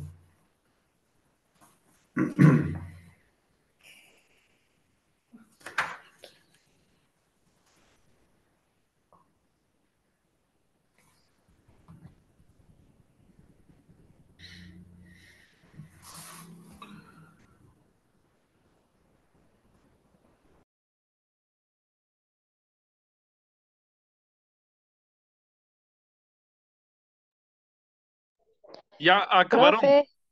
Sí, profe, ya, ya eran, solo eran mis pequeñas Ah, ya listo, listo. Sí, Gracias. Entonces, el tema es de aquí, eh, según las observaciones del jurado, calificador hace las, eh, las correcciones en su tesis y para su presentación. Eh, yo creo que, y también de, acuerdo al tema del Lurkun, ya les de, de, pasar si es que si es que alcanzaron en los tiempos, no me acuerdo, ustedes a entregar. Con todo, ya les de, de pasar ese detalle más adelante. Ya. Em, yo creo que las defensas, como el diciembre es un mes un poco complejo, incluso también ustedes para alcanzar a hacer las correcciones, observaciones, que se preparen bien y demás, eh, van a ser para enero. Ya les de dar el calendario para enero, en el transcurso de este mes. Eh, sí, y también primero tendría que recibir eh, la tesis ya, ya corre, completa y corregida y con el URCON 10%, que es la normativa. Entonces, eso básicamente es el procedimiento de aquí. Eh, prepárese para la defensa, nada más. Que tenga una buena noche. Ya, ingenieros, muy, muy amables, muchas gracias por, por prestarnos atención. Y bueno, vamos a, considerar todas las observaciones y le estaríamos enviando, yo creo que con Gaby, a mediados de hasta el próximo mes, las correcciones. No sé si estamos bien en tiempo, si le enviamos hasta mediados del próximo mes o a finales de este mes. No, si estarían bien en el próximo mes las correcciones, porque también estaría todavía pendiente el tema del, del antiplagio también. Ya. Se detalle. Ok. Ya, ingeniero. Muchas gracias. Hasta luego, pasen bien. Gracias, ingeniero. Gracias también. Gracias, pasen bien, hasta luego. El siguiente es Libetco Márquez, Anthony Suárez. ¿Cuál es el siguiente? ¿O los dos? Deja ver quién está.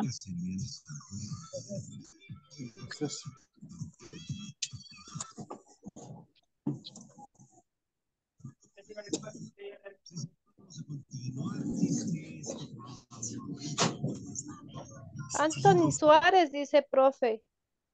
Ya, entonces, por favor, Anthony, la monotonía es la siguiente. Tienes 30 minutos a partir de, que acabe de hablar para que hacer tu intervención. Eh, ya está dispuesto el asunto de compartir, aunque creo que el compañero, no sé si dejó cerrando pero porque si ya está, ya está dispuesto para varios participantes. Pareciera que está la compu del, del compañero, la que está reflejando, no. Si no, si hay cómo compartir, pues probable. Buenas noches, ingeniero. Este ya voy a ver si puedo compartir.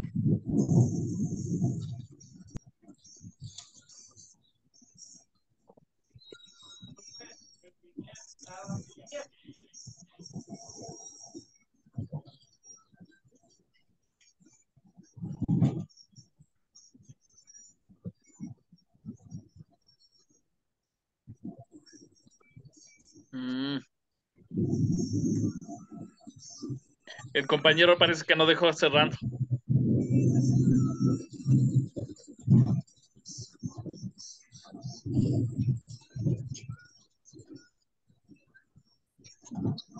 Ya. Ahí sí. Gracias. Ahora sí, puedes proseguir, Anthony. Tienes 30 minutos para exponer las esencialidades de tu tesis.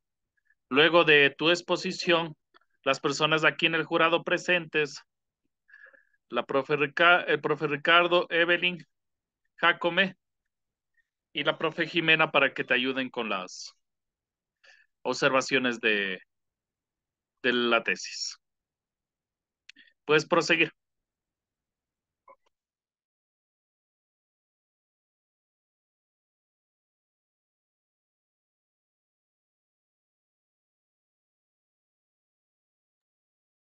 No sé si me escuchaste, Anthony, está grabando. Tienes sí, 30 sí, lo escuché, estoy buscando el documento. Este, por, es que estoy por medio del teléfono, ingeniero. Ok, ok.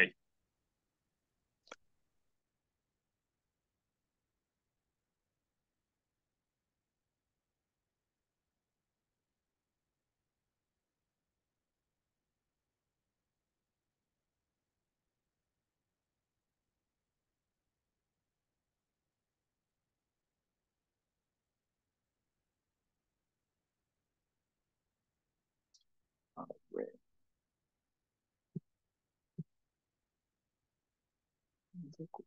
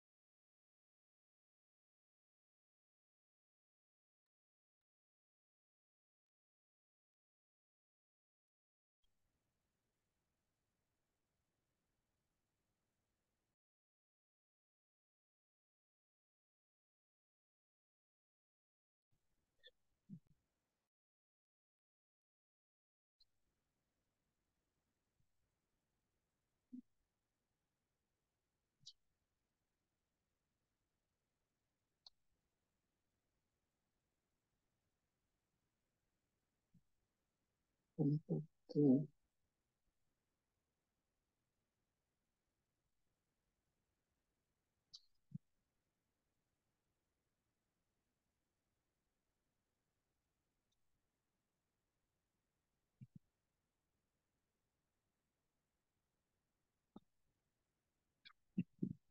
Извините.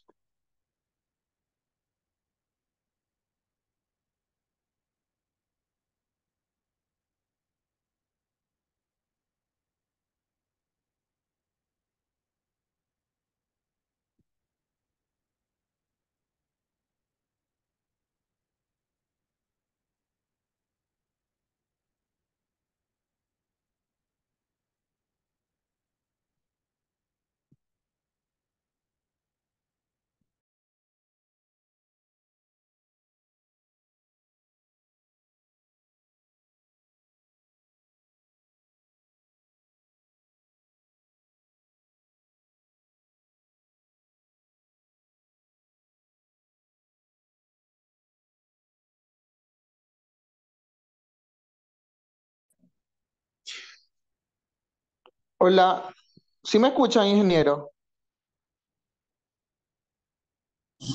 Sí, sí te escuchamos. Sí, este, Inge, lo que pasa es que no me sale que no puedo compartir el documento. Mm, lo que pasa es que no, no nos dejó con, con el hospedaje. Me sale que no, no es compatible.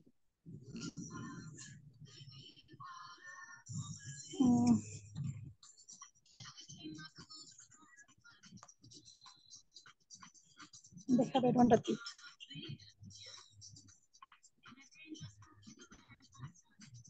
¿Y quién estará como hospedador? Anfitrión. Eh, Fer, estás como anfitrión tú.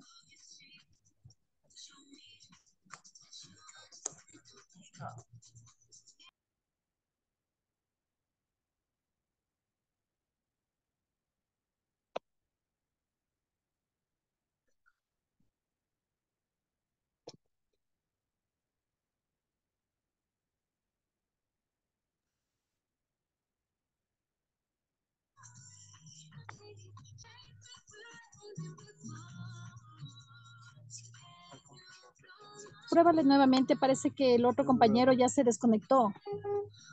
No, hija, aún no me, no me puedo, me sale lo mismo.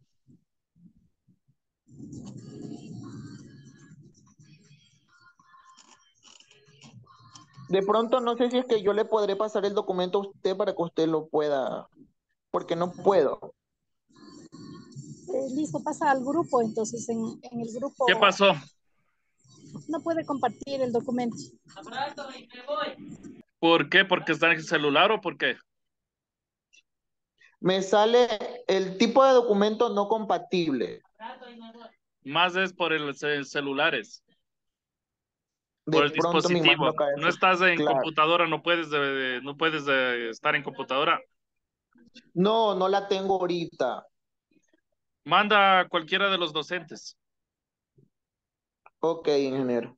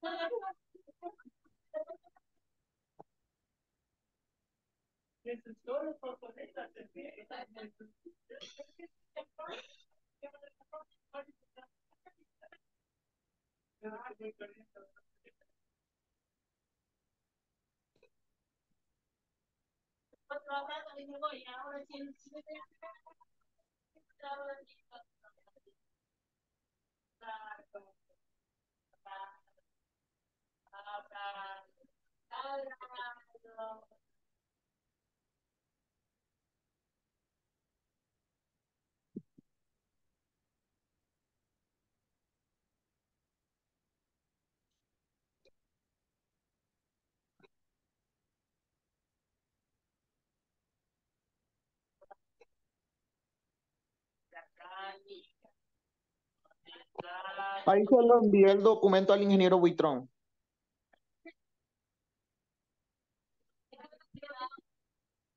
Mm.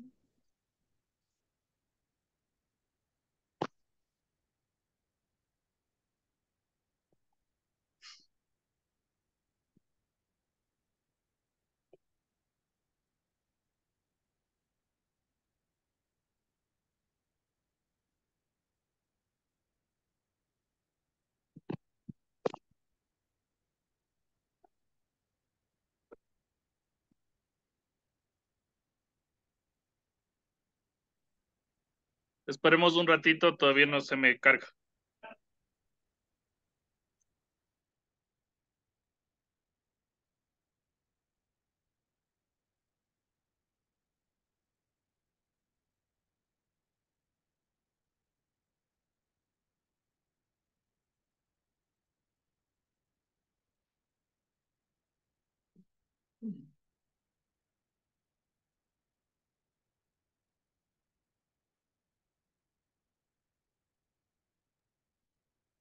Debido a que se nos tardó, la siguiente exposición se traslada para mañana. A primera hora. Y vamos a tener que recorrer una a una. Hasta ver si nos igualamos.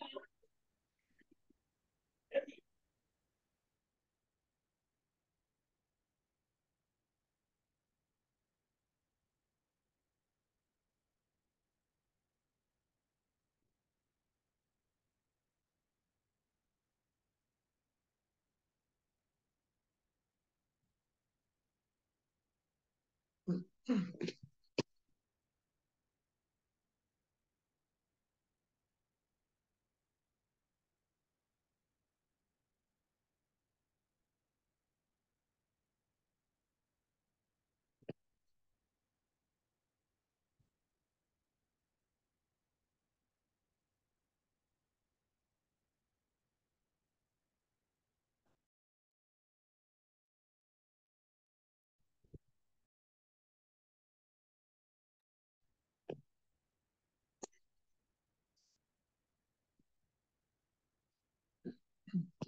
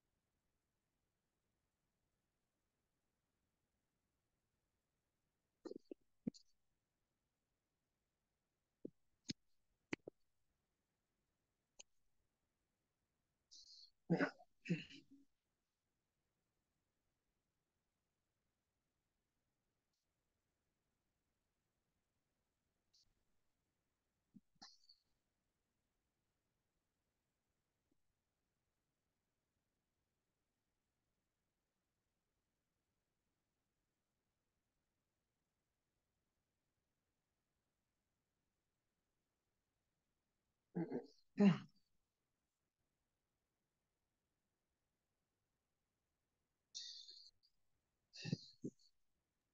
Comenzar. Ya. Este, buenas noches con todos. Este, voy a hablar sobre mi tesis sobre la elaboración de snack de zanahoria blanca con camote en salsa dulce como aporte energético para deportistas en el sector de la ciudad de Guayaquil en Orquídeas. Como introducción, eh, les voy a comentar algo eh, acerca de, esto, que se puede tomar en cuenta la tendencia mundial hacia el mayor consumo de frutas y hortalizas en la, en la población. Esto se da por motivación hacia un estilo de vida saludable. En otros casos es para completar los requerimientos energéticos que demandan las actividades diarias, como suelen ser en caso de los deportistas, en la vida y dieta equilibrada, que es considerada como un, un menor, consumo de carbo, menor consumo de carbohidratos, grasas, grasas, aceites. Que esto es una mayor cantidad de ingestas en fibras dietéticas, vitaminas y minerales. En el Ecuador se han implementado políticas para garantizar la seguridad alimentaria en su Plan Nacional Buen Vivir. Sin embargo, el consumo es insuficiente de hortalizas, siguiendo, siendo uno de los principales factores de la falta de micronutrientes en la población, lo que puede tener consecuencias graves para la salud. Por lo tanto, es importante para nosotros fomentar el consumo de hortalizas y verduras para mejorar la calidad de vida de la población de nuestro, nuestro sector o a nivel nacional o internacionalmente.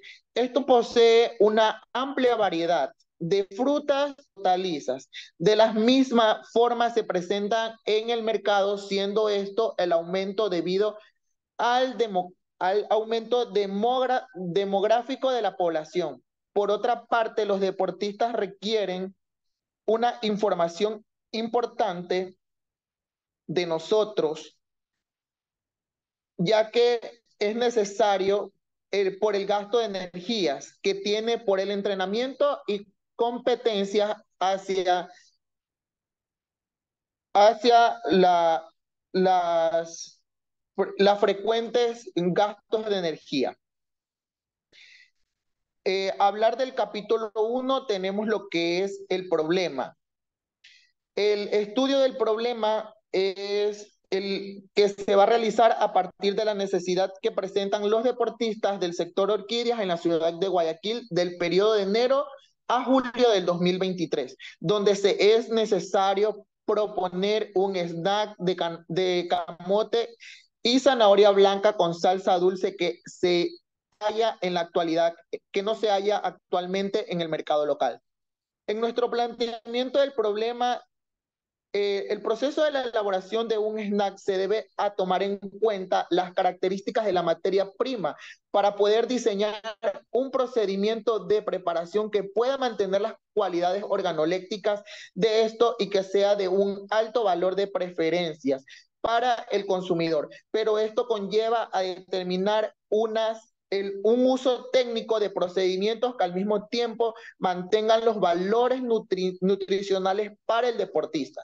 Debido a los cambios sociales y tendencias de comportamiento del consumidor influenciado por el entorno, se disponen a considerar nuevos productos que aporten factibilidad en la satisfacción necesarias en la alimentación, pero esto debe estar relacionado con un proceso de producción que garantice el bienestar y nutrición de ellos. Por otra parte, se toma en cuenta la elaboración de este SNAP para solucionar el problema de un requerimiento nutricional y energético para deportistas en el sector de orquídeas, en edades comprendidas entre 18 y 45 años de edad. Al tomar en cuenta deportistas, se, especifica aquellos que tienen alta demanda de energía como atletas. Los deportes de fuerzas de fuerzas demandan un mayor gasto energético. Por ejemplo, los entrenamientos de fuerza, eh, ya sea por medio de gimnasio o eh, eh, ejercicios como trote, levantamiento de pesa o actualmente como viven las personas que viven del CrossFit y en sí otros tipos de ejercicios. en objetivos en, los objetivos generales, tengo la elaboración de un snack de zanahoria blanca con camote en salsa dulce como alimento con aporte energético para deportistas del sector orquídeas en la ciudad de Guayaquil del 2023. Los objetivos específicos, el primer objetivo específico tengo es analizar los beneficios del camote y la zanahoria, así como la frutilla y la mora en la salsa del producto para deportistas en la ciudad mencionada. Nuestro segundo ítem es determinar una formulación adecuada para la elaboración de un snack de zanahoria blanca con camote como aporte energético para deportistas. Nuestro tercer ítem es describir el proceso de elaboración de snack de zanahoria blanca y camote con propiedades funcionales. Nuestro cuarto y último ítem es evaluar la aceptabilidad del snack de zanahoria blanca con aporte para determinar una formulación aceptada por el consumidor por medio de un estudio de campo. En la justificación, eh, hablar de la justificación se toma en cuenta la tendencia mundial hacia el mayor consumo de frutas y hortalizas en la población. Esto se da por la motivación hacia un estilo de vida saludable. En otros casos, ya que estudia y se realiza porque es necesario dar a conocer los beneficios que poseen el camote y la zanahoria, así como la frutilla y la mora en la salsa del producto. Esto establece claramente que la ausencia de un producto de estas características en el, en el mercado disponible para el consumidor. De la misma forma, se plantea esta investigación para que sea necesaria y brindar recursos complementarios a la dieta del deportista. Y es así que se plantea una alta demanda del SNAP desde el punto de vista dietético, ya que sería muy importante. En nuestro aspecto teórico, eh, puedo hablar de que se plantea el desarrollo del procedimiento de elaboración de snack a base de zanahoria blanca y camote, ya que cumplimos con los parámetros de calidad según la normativa técnica ecuatoriana INEN 2561-2010, donde habla sobre los bocaditos de productos vegetales. Este procedimiento ofrecería al consumidor el producto una garantía de los requerimientos de color, color, sabor y textura.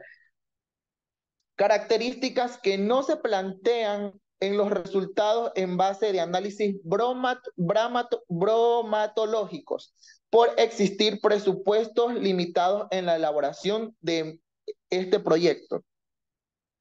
Bajo el enfoque metodológico del estudio se plantea la importancia respecto al procedimiento de la elaboración del producto. Al mismo tiempo, la elaboración de un instrumento que esté acorde a las necesidades de medir la aceptación del mismo por los consumidores. Esto se detalla en la elaboración del instrumento a escala Likert para medir la aceptación del producto conjunto al cuestionario basado en la evaluación sensorial. Mi hipótesis y ideas a defender es que sería la elaboración del snack de zanahoria blanca con camote en salsa dulce que tendría aceptabilidad para deportistas que necesitan aportes energéticos. La cobertura en esta investigación se propone un snack de primera categoría ya que a través de, los estudios de percepción de aceptabilidad por la elaboración sensorial, se comenta diferentes aspectos en la importancia de nuestra materia prima para, que sea el agrado de los consumidores y sea un complemento dietético. Capítulo 2 marco teórico. En los antecedentes y antecedentes del producto y componentes, los alimentos tienen la función de ser fuentes de recursos para los organismos del consumidor, ya que estos determinan los alimentos de tipo SNAP que son de origen occidental, que tienen una variación según su origen y según su región, donde son comercializados, pero esto se puede dar paso al análisis inicial, ya que su industrialización comienza a partir del siglo XIX con la presentación de papas fritas que tuvieron una amplia aceptación a nivel mundial. Estas fueron preparadas y presentadas como alimentos por primera vez en el año de 1853 por el chef John Krug el cual reclamó papas laminadas cocinadas en aceite hirviendo.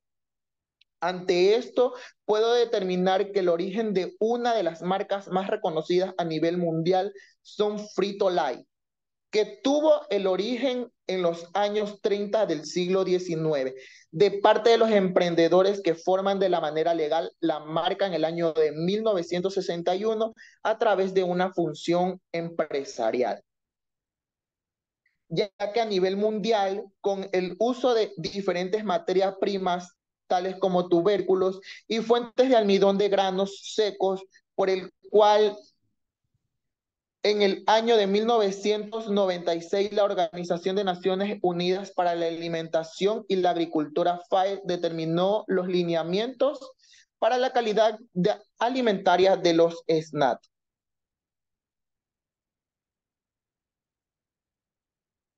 Mi marco conceptual, voy a hablar acerca de eh, algo referente al camote.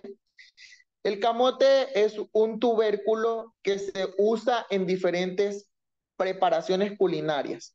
En la región donde se siembra debido a sus cualidades y beneficios para la salud humana y su aporte energético a la dieta del consumidor. Es comúnmente llamada batatas. El camote es rico en carbohidratos, vitaminas C, BC, B6 y A, minerales, potasio, fibra dietética y compuestos antioxidantes, específicamente las antocianinas, exclusivas de las frutas y hortalizas de color púrpura. No solo son responsables de su color llamativo, sino también que son muy beneficiosas e importantes para la salud. A partir de esto se puede determinar que el uso del el tubérculo, tal como el camote, puede prevenir la aparición del cáncer debido a su alto contenido de antioxidantes y de vitamina C. Es así que a través de las propiedades puede ser ayuda para prevenir la, la pérdida de la visión por mantener el circulante y la asimilación del consumo de nutrientes vitamínicos tales como la B12, fósforo y magnesio. Esto se relaciona con la mejora de la acción inmunitaria del individuo. A continuación les voy a detallar el valor nutricional de cada 100 gramos del producto. Eh, tenemos lo que es en los compuestos, en calorías tenemos lo que son 105 calorías, en agua tenemos el 72.84 gramos, en proteínas tenemos el 1.65 gramos, grasas el 0.30 gramos, en carbohidratos 24.28 gramos, fibra el 3, en 3 gramos, calcio 22 22, hierro, eh, hierro, eh, fósforo, potasio, y vitamina C y vitamina A. La zanahoria blanca, por otra parte, se detalla que es muy rica en vitaminas y minerales al ser también un tubérculo. Pero esto se destaca ya que su presencia de carbohidratos con alto contenido de fibra, por, su alto contenido de fibra. Es así que sus características físicas se detallan por ser el color blanco con cualidades de tener altos niveles de vitamina E y vitaminas del grupo B como el fosfato y las vitaminas B3, o niacina. Por otra parte, en los minerales se puede resaltar que posee potasio y cantidades discretas de fósforo. Su tabla nutricional en la zanahoria blanca, tenemos lo que es la, el, las calorías, el agua, las proteínas, las grasas, los carbohidratos, las fibras, el calcio, el hierro y el fósforo. Las más importantes que son la vitamina C y la vitamina A. En la salsa dulce, que es la, el valor agregado prácticamente del SNAT, eh, tenemos lo que es una composición o una mezcla de varias sustancias o ingredientes que se consideran comestibles y se emplea como aderezo para otros productos como condimento de los alimentos. Esto se debe considerar como un elemento de acompañamiento a los alimentos para dar una variedad de sabores como aderezo. Como salsa dulce se detalla como aquella que puede ir desde consistencia líquida a puré, que posee un alto contenido de azúcares en las frutas como la fructuosa, al detallar el término como salsa dulce, se detalla que posee características organolépticas en el sabor de alto contenido de azúcar. En este caso, al ser una base de fruta, se determina que, la que es una fructuosa. A continuación se detalla la materia prima de la salsa dulce, que, de la salsa dulce, que es la frutilla y la mora. Hablar de la frutilla y la mora es, cuyo nombre científico es fragancia. Es fragancia chiloensis en la familia de la que posee descubiertos por primera vez fue descubierta en Chile en el año de 1614. Y en Ecuador su presencia fue descubierta por el padre Gregorio Fernando de Velázquez, de Velasco, la actual producción de fresas en Ecuador proviene de cruzamiento entre Fragaria virginiana de, del este de Norteamérica y de la Fragaria chiloenensis frenzón chileno. La frutilla es considerada exótica por su alto impacto en su aroma, lo cual lo convierte en un cultivo de salida comercial por su aceptación en el mercado ya que esta tiene características que aprovecha su 95% del peso del producto como sustancia comestible para el consumo humano, ya que posee su nivel de vitamina C, ácidos orgánicos, también posee hidratos de carbono, agua y fructuosa, que son fuentes de vitamina C por su porcentaje superior al de la naranja con ración a 150 gramos de fresa contenido en 86 de vitamina. Hablar de la mora es una, una fruta cultivada en el Ecuador, ya que es comúnmente en, en nuestro país es de la región andina y es aquella que se cultiva de forma tradicional por los pequeños y medianos agricultores.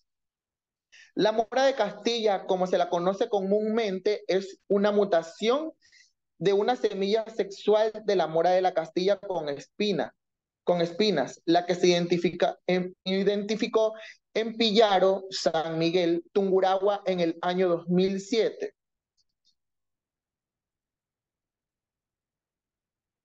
Nuestro aditivo eh, importante que, el cual fue suministrado a nuestro nuestra salsa eh, fue un aditivo que se agrega a los alimentos procesados que tienen como finalidad mantener la inocuidad o mejorar el mismo. El aditivo que se emplea sirve para mantener la fructuosa del producto y al mismo tiempo se aplica para añadir mejor sabor o nutrientes al producto.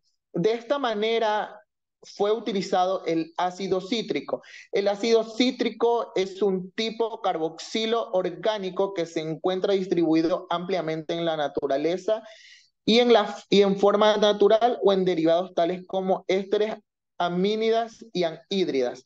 Un ejemplo claro donde se encuentra este ácido cítrico se encuentran en limón y en la naranja.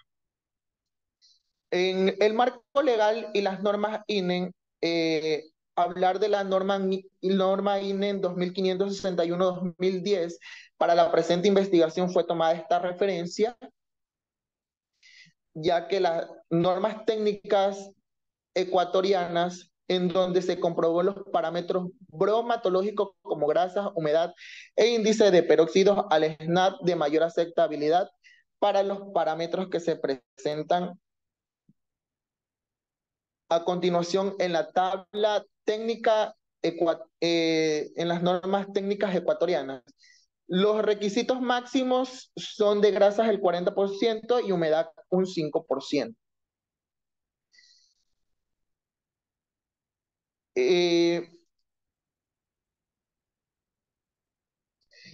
las buenas prácticas de manufactura para mí son muy importantes en este tema, ya que es un proceso que se implica en el cambio de un procedimiento de producción de tipo físico-químico en la materia prima de un producto, ya que las buenas prácticas de manufactura son consideradas como las políticas de manejo industrial del proceso de alimento y de la producción de comestibles para el consumo animal o humano. Entre estas circunstancias se considera como el manejo adecuado para los materiales en la producción y en la materia prima para obtener un, un producto final de buena calidad. En el desarrollo metodológico se emplea un estudio de tipo descriptivo y documental que se detalla como para describir los resultados en forma interpretativa ya que las características de, la respuesta en los instrumentos de recolección de datos de una población se detalla en el uso de descripción de los resultados y las opiniones de los consumidores en el test de aceptabilidad que se empleó. En cuanto al análisis de tipo documental, el análisis de la información se detalla en análisis previos y contenidos referenciales del respaldo científico. En las investigaciones, la aplicabilidad de análisis documental basado en la norma INEC, en la norma INEC mencionada anteriormente, la 2561-2010, y la norma INEC 419 1988-05, las técnicas de, en las técnicas de investigación, hablar de los primeros datos de nuestra investigación serán aplicadas por medios de encuesta. La encuesta es una serie de, de preguntas que se plantean en la recolección de información sobre un tema específico que pueden ser de opciones cerradas. En el caso de estudio, se propone el uso de encuesta para deportistas en el sector orquídeas de la ciudad de Guayaquil. En escala de satisfacción sobre el producto y su presentación en escala de Likert, que será mucho, poco, indiferente, muy, muy o nada.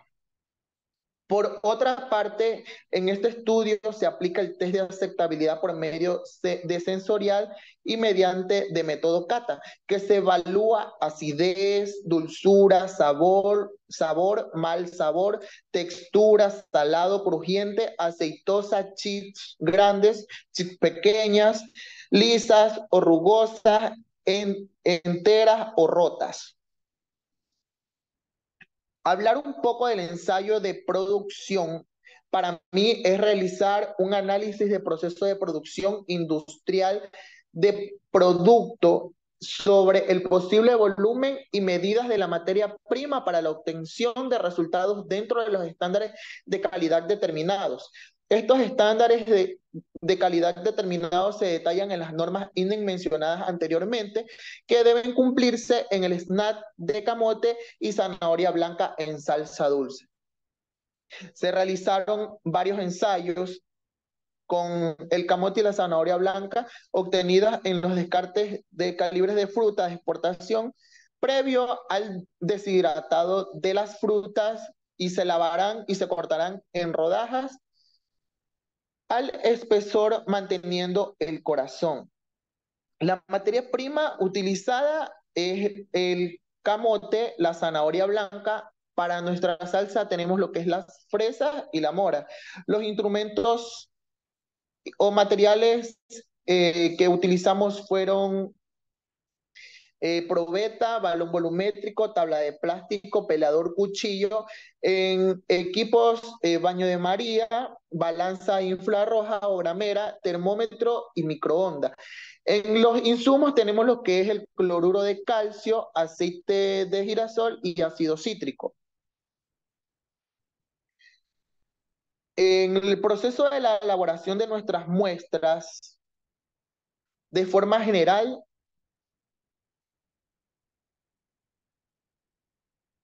Para ambas se inicia con la recepción de la materia prima, seguido del análisis de la misma a través de la observación para precautelar que el producto esté en óptimas condiciones o que no se presenten plagas o deterioros, ya que eh, facilite la proliferación de bacterias que se ya que son dañinas para la salud o que alteran el sabor y consistencia del producto. En este caso de no cumplir con el requerimiento, se procede a la devolución de la materia prima para obtener un nuevo lote.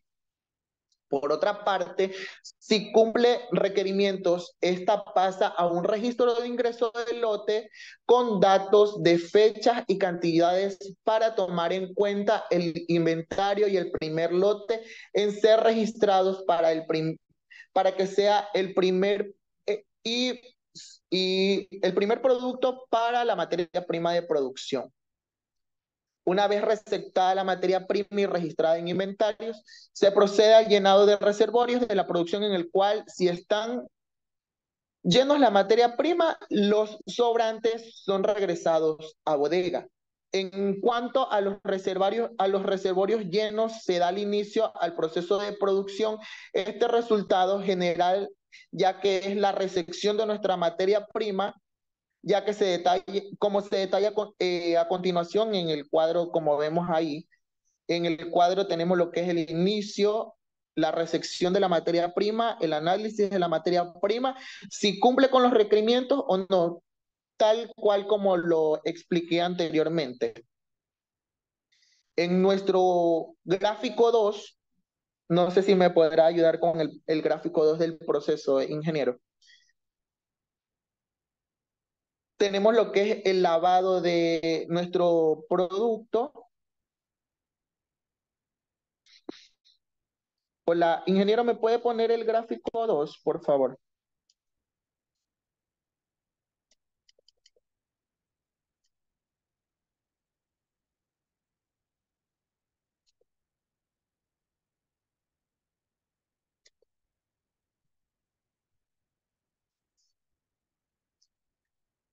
Ya, en ese, en el, en el gráfico 2 tenemos los, lo que es la, el inicio de nuestro proceso, prácticamente por decirlo así. Eh,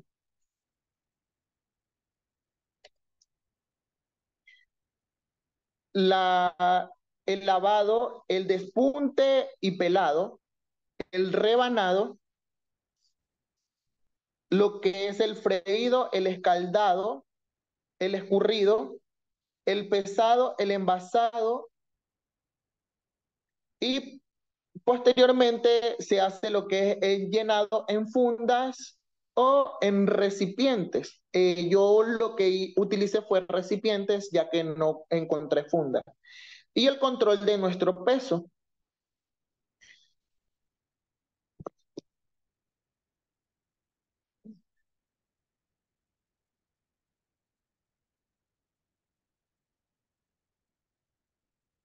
Nuestro análisis sensorial se estructura a través del método CATA, como anteriormente lo, lo comenté, ya que es una lista de atributos de un producto que se emplea a los consumidores para medir el grado de aceptabilidad y preferencia de un grupo de personas distintas y presentaciones diferenciadas entre uno y otro producto en las mismas y similares características.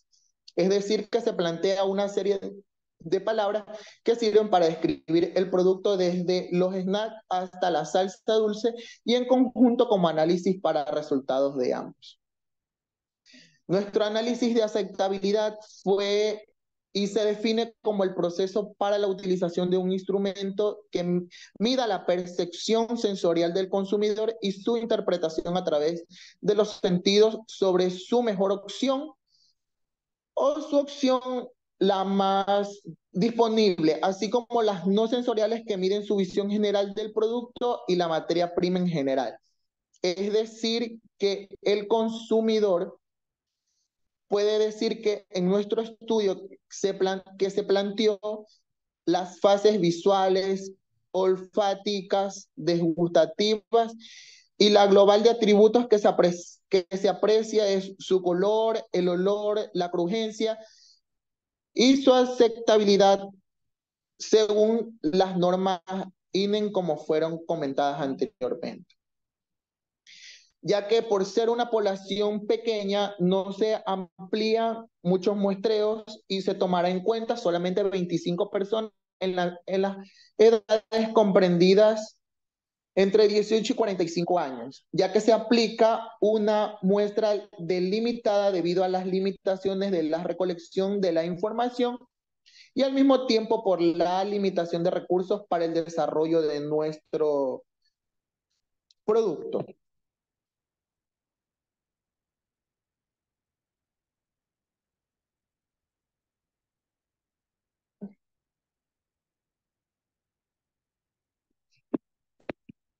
Ya, en nuestra propuesta del proyecto, eh, puedo decir que en, en cuanto a, nuestro, a nuestra producción se define como transformación de la materia prima o factores productivos. De esta manera se determina que el proceso de la producción para este estudio que se acogió la materia prima y su transformación por el proceso físico-químico en un snack y su salsa dulce. Como comúnmente eh, puse en el diagrama de flujo en cuanto al proceso, eh, fue un estándar de producción de ambas muestras que se determinó en un procedimiento en común que es el siguiente. Tenemos lo que es la recepción de la materia prima. Para la elaboración de la materia prima del el snack se utilizaron rodajas de zanahoria blanca con camote. Su aditivo fue la sal, el ácido cítrico y el aceite de oliva.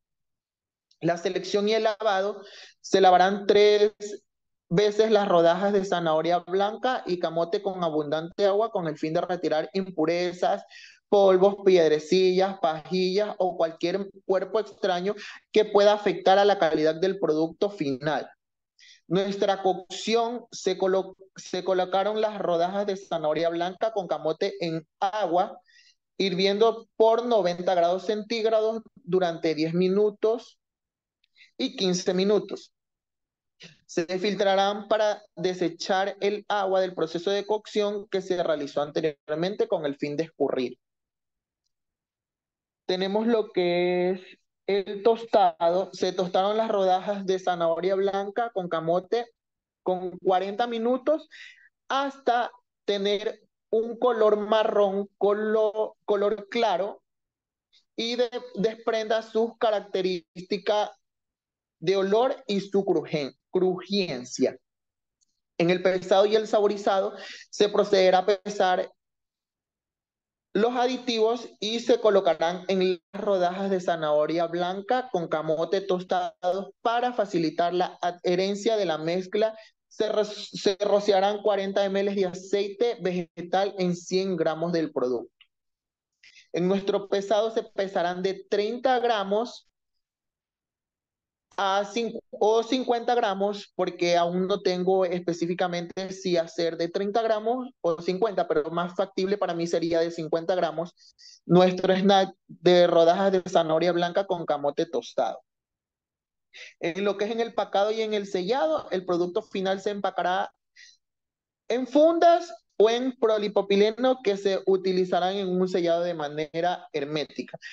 En el almacenado, una vez sellado el snack de rodajas de zanahoria blanca con camote en salsa dulce, se lo almacena en un lugar limpio y fresco sin exhibición de, de la luz. Ah, ahí tenemos lo que es el gráfico de formulación. En, en, el cuadro aquí, lo que es en el camote, se, se utilizó el peso unitario de producción, en el camote 4.52 59 gramos, en la zanahoria se utilizó el mismo, el mismo gramaje, en la fresa y en la frutilla, eh, fresa o mora, se utilizó el mismo también porcentaje que fueron de 228.8 gramos, lo que fue el ácido cítrico utilizamos 5 gramos, la sal 10 gramos, el azúcar 50 gramos y en aceite vegetal 500 ml. Los 500 ml se los utilizó porque eh, se fueron varias muestras. Nuestro producto terminado, eh, las características del producto serán las siguientes con el uso de fritura de tubérculos y salsa dulce en la fruta. El nombre común, eh, el, nombre del, el nombre del producto se va a llamar Anthony Snat, eh, descripción del producto. El producto está a base de zanahoria blanca y camote acompañado con una salsa dulce de fresa y mora que cumple con los estándares de las normas INES mencionadas anteriormente. Su almacenamiento puede ser en envase de polipropileno que se debe usar en un ambiente fresco y seco, como las fundas herméticas que las comenté también. La forma de consumo es frituras, consumidores potenciales deportistas y personas con tendencia a alimentación saludable. Presentación y empaque. El empaque es de polipropileno de 30 gramos o 50 gramos. Ahí tengo, como ven en la imagen, una imagen que está en el lado izquierdo es de 30 gramos y la que está en el lado derecho es de 50 gramos. Su vida útil esperada es de 6 meses. El rótulo del empaque tal cual está ahí.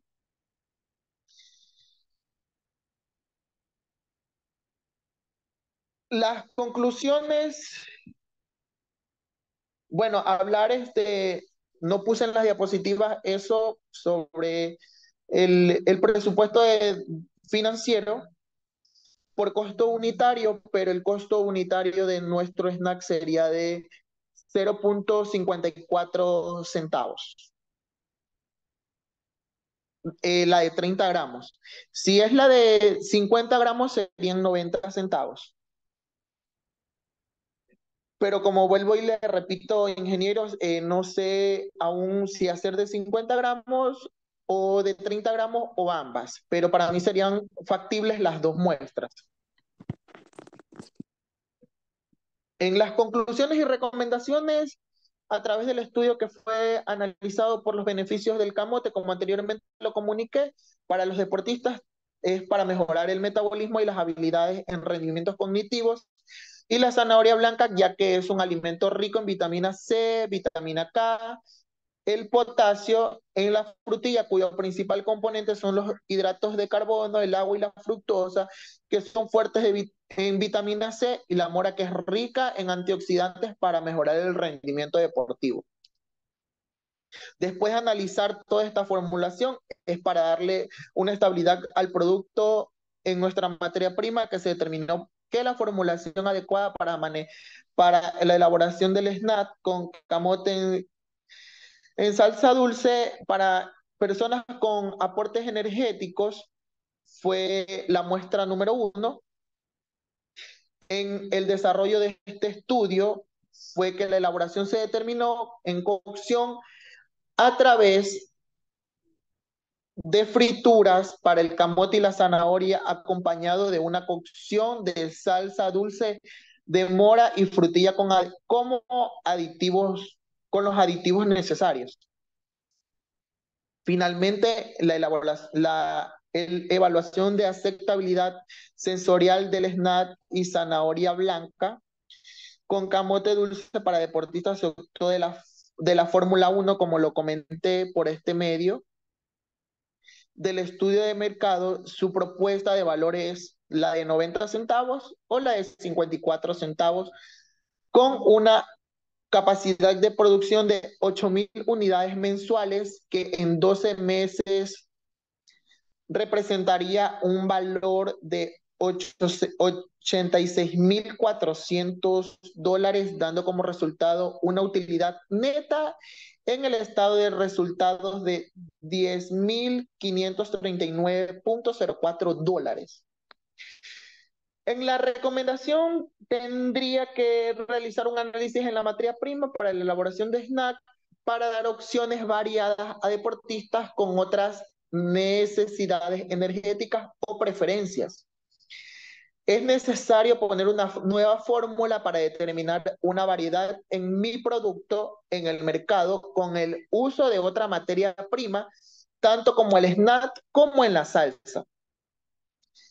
Eh, aumentar mi capacidad de producción, que para mí sería la principal en la planta, a través de un financiamiento bancario para ingresar con mayor cobertura en el mercado en el caso de que sea una demanda de aumento.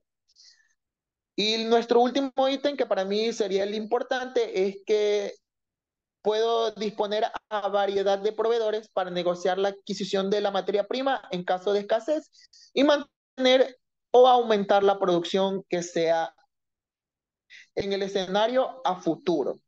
Eh, esto ha sido todo mi, mi presentación de, de la predefensa.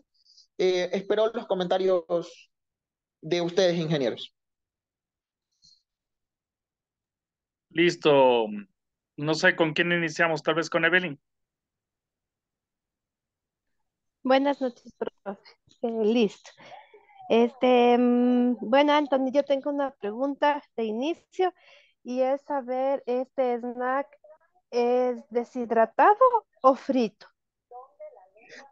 Hice las dos opciones.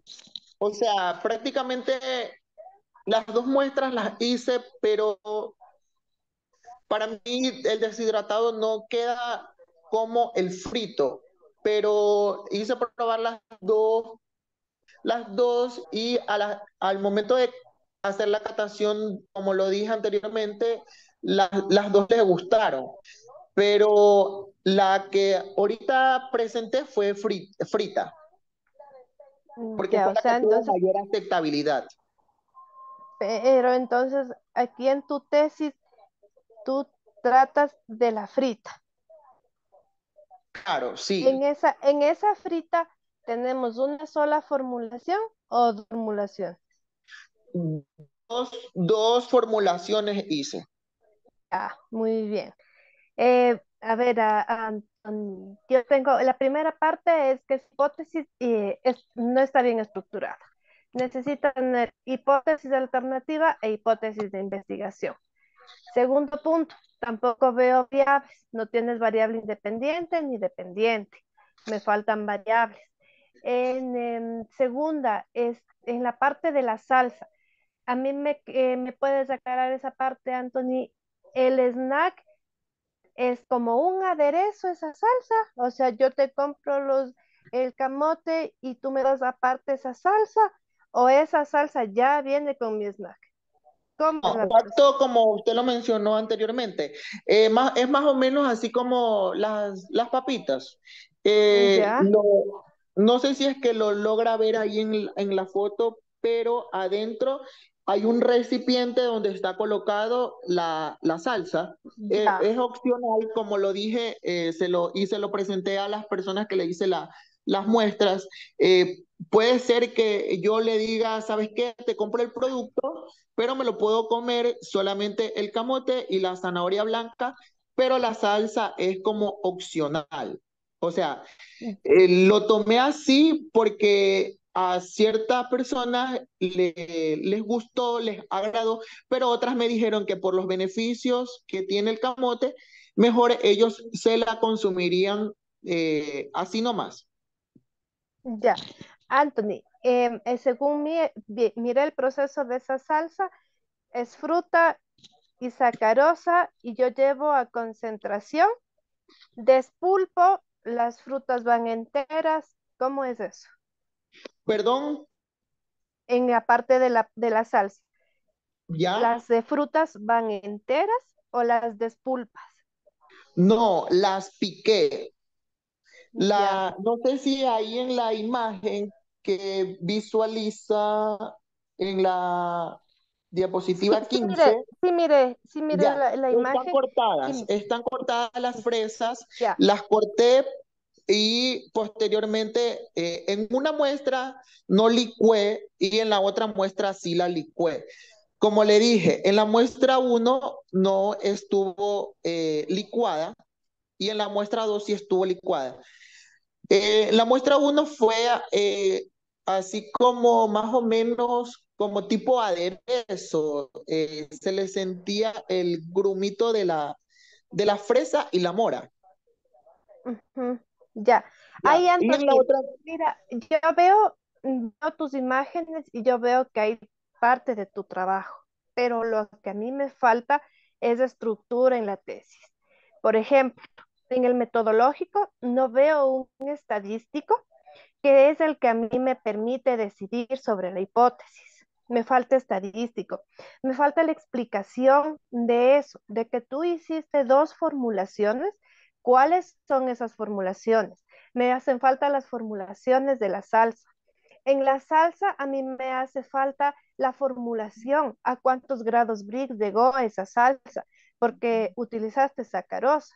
Entonces me hacen falta esos grados Brix. Me hacen falta en ese diagrama de flujo parámetros de control, tiempos, temperaturas, grados Brix. Me hacen falta operaciones preliminares, eh, que de seguro las hiciste, pero las estás omitiendo en ese diagrama de flujo. Cuando hago un diagrama de flujo, preferible divídele en dos. Haz el de tu snack y haz el de tu, de tu salsa. Porque si las unificas, no se, no se visualiza bien. En el, método, en el metodológico, a mí me quedó faltando el estadístico. Dices tú que hiciste uno de aceptabilidad, pero yo no veo ningún dato no veo ningún numérico que a mí me permita, eh, que de, me parece que nombraste 25 personas que serían casos de estudio. No tenemos una población, pero tenemos casos de estudio. Con esos 25 datos que tú obtuviste, debería haberme dado un numérico. Me invento que de 25 a 20 les gustó la formulación número 1, la, la, la salsa número 2. Entonces, ese estadístico yo no lo miro, la verdad que no lo miro en primera instancia. Entonces, el metodológico una, una acotación que quiero hacer sobre lo que está mencionando.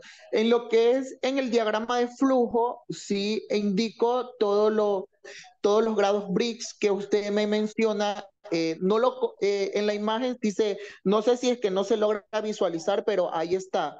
Están los porcentajes y los grados que se utilizó en el momento del proceso de nuestra producción.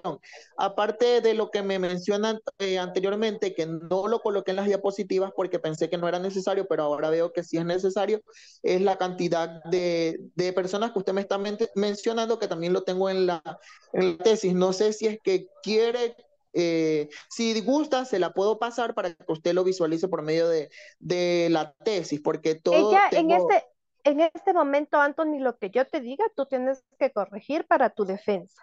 Entonces, por ejemplo, el teórico omite tanto teórico porque realmente debes mm, de pronto poner algo muy relevante acerca de eh, lo que es la, la zanahoria blanca y, y, todos los insumos, algo muy, muy relevante. Incluso yo pondría lo que son propiedades físicas, más no las de nutricionales, ¿sí? Entonces, eso tiene que ser muy breve, porque recuerda que tienes de 20 a 30 minutos.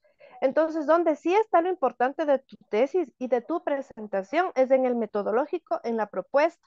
Tampoco mire en la parte de los costos, no tienes un punto de equilibrio. Y si los tienes, agrégales. Entonces, mira, me quedó faltando eso, sobre todo en el metodológico, si es que tú dispones de toda esa información, estructúrale mejor a tu presentación, de tal forma que cuando tú expongas, em, el tribunal entienda que tú hiciste tus formulaciones, que qué método estadístico ocupaste, cómo concluiste para poder saber con qué hipótesis te quedaste, cuál aceptaste, cuál rechazaste, por qué lo aceptas, por qué lo rechazas, ¿me entiendes? Entonces esa parte, de pronto, como tú mencionas, la tienes, pero no nos permitiste visualizarla. En cuanto a, mm, al, proceso, seguro, ya te digo que no se visualiza bien, están muy, muy, muy pequeñitas las letras y sobre todo sí, sería bueno. Se ven bien pequeñas, pero sí en la, como le dije, o sea, sí Sí, este, tengo el gráfico de, de todo lo que es como lo, lo que usted mencionó, los grados BRICS, el azúcar, el porcentaje, sobre el, el, la, la, cocción, la temperatura, todo eso está incluido en el... Algo que leí, me parece que fue en el de zanahoria blanca, que utilizas un antioxidante, pero ¿qué antioxidante es el que se usa? Entonces esas, esas partes no las puedes omitir porque son importantes. Si utilizo un conservante, pero ¿qué conservante lo estoy utilizando? Entonces esas partes em, me quedan faltando, si es necesario. En segunda instancia, eh, Anthony, que sí tienes que mejorar son esas conclusiones. Yo concluyo en base a mis objetivos. Por ejemplo, el tuyo, el primero fue los beneficios eh, de, de, todos los componentes que estás utilizando. Pero eh, ahí, Anthony, ¿cómo yo puedo verificar qué beneficios me aporta?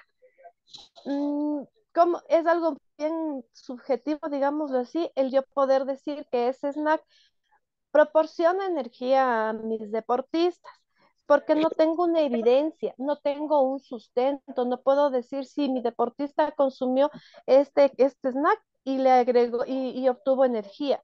Eso es em, con, un, con un análisis, con un estudio un poco más extenso en el que yo pueda comprobar. La verdad es que si yo podría omitir ese, ese el primer objetivo específico, yo lo quitaría, la verdad, porque no es medible, no es comprobable. Y de los otros tres, en, en, la, en la conclusión también tienes tú que decir, a ver, pues para la aceptabilidad se hizo este estudio, se hizo este análisis, se, se, hizo, un panel sensorial a 25 casos de estudios en la edad que nos dijiste del rango y se aplicó tal escala eh, o tal em, eh, eh, análisis sensorial. Ahora mencioname análisis sensorial, porque por ejemplo las características las mencionaste, pero nunca hubo eh, una tabla donde me identifique eh, los porcentajes, cuáles son las características que se, eh, que se analizaron. ¿Qué características son las que se analizaron en ese panel sensorial?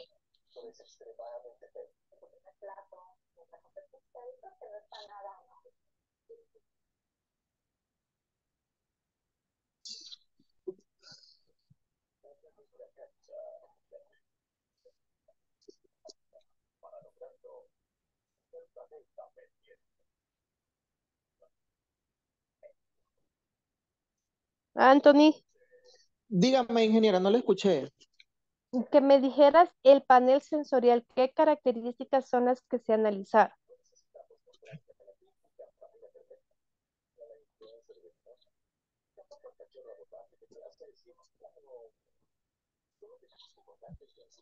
Me parece que dijiste algo de acidez. No recuerdo todas.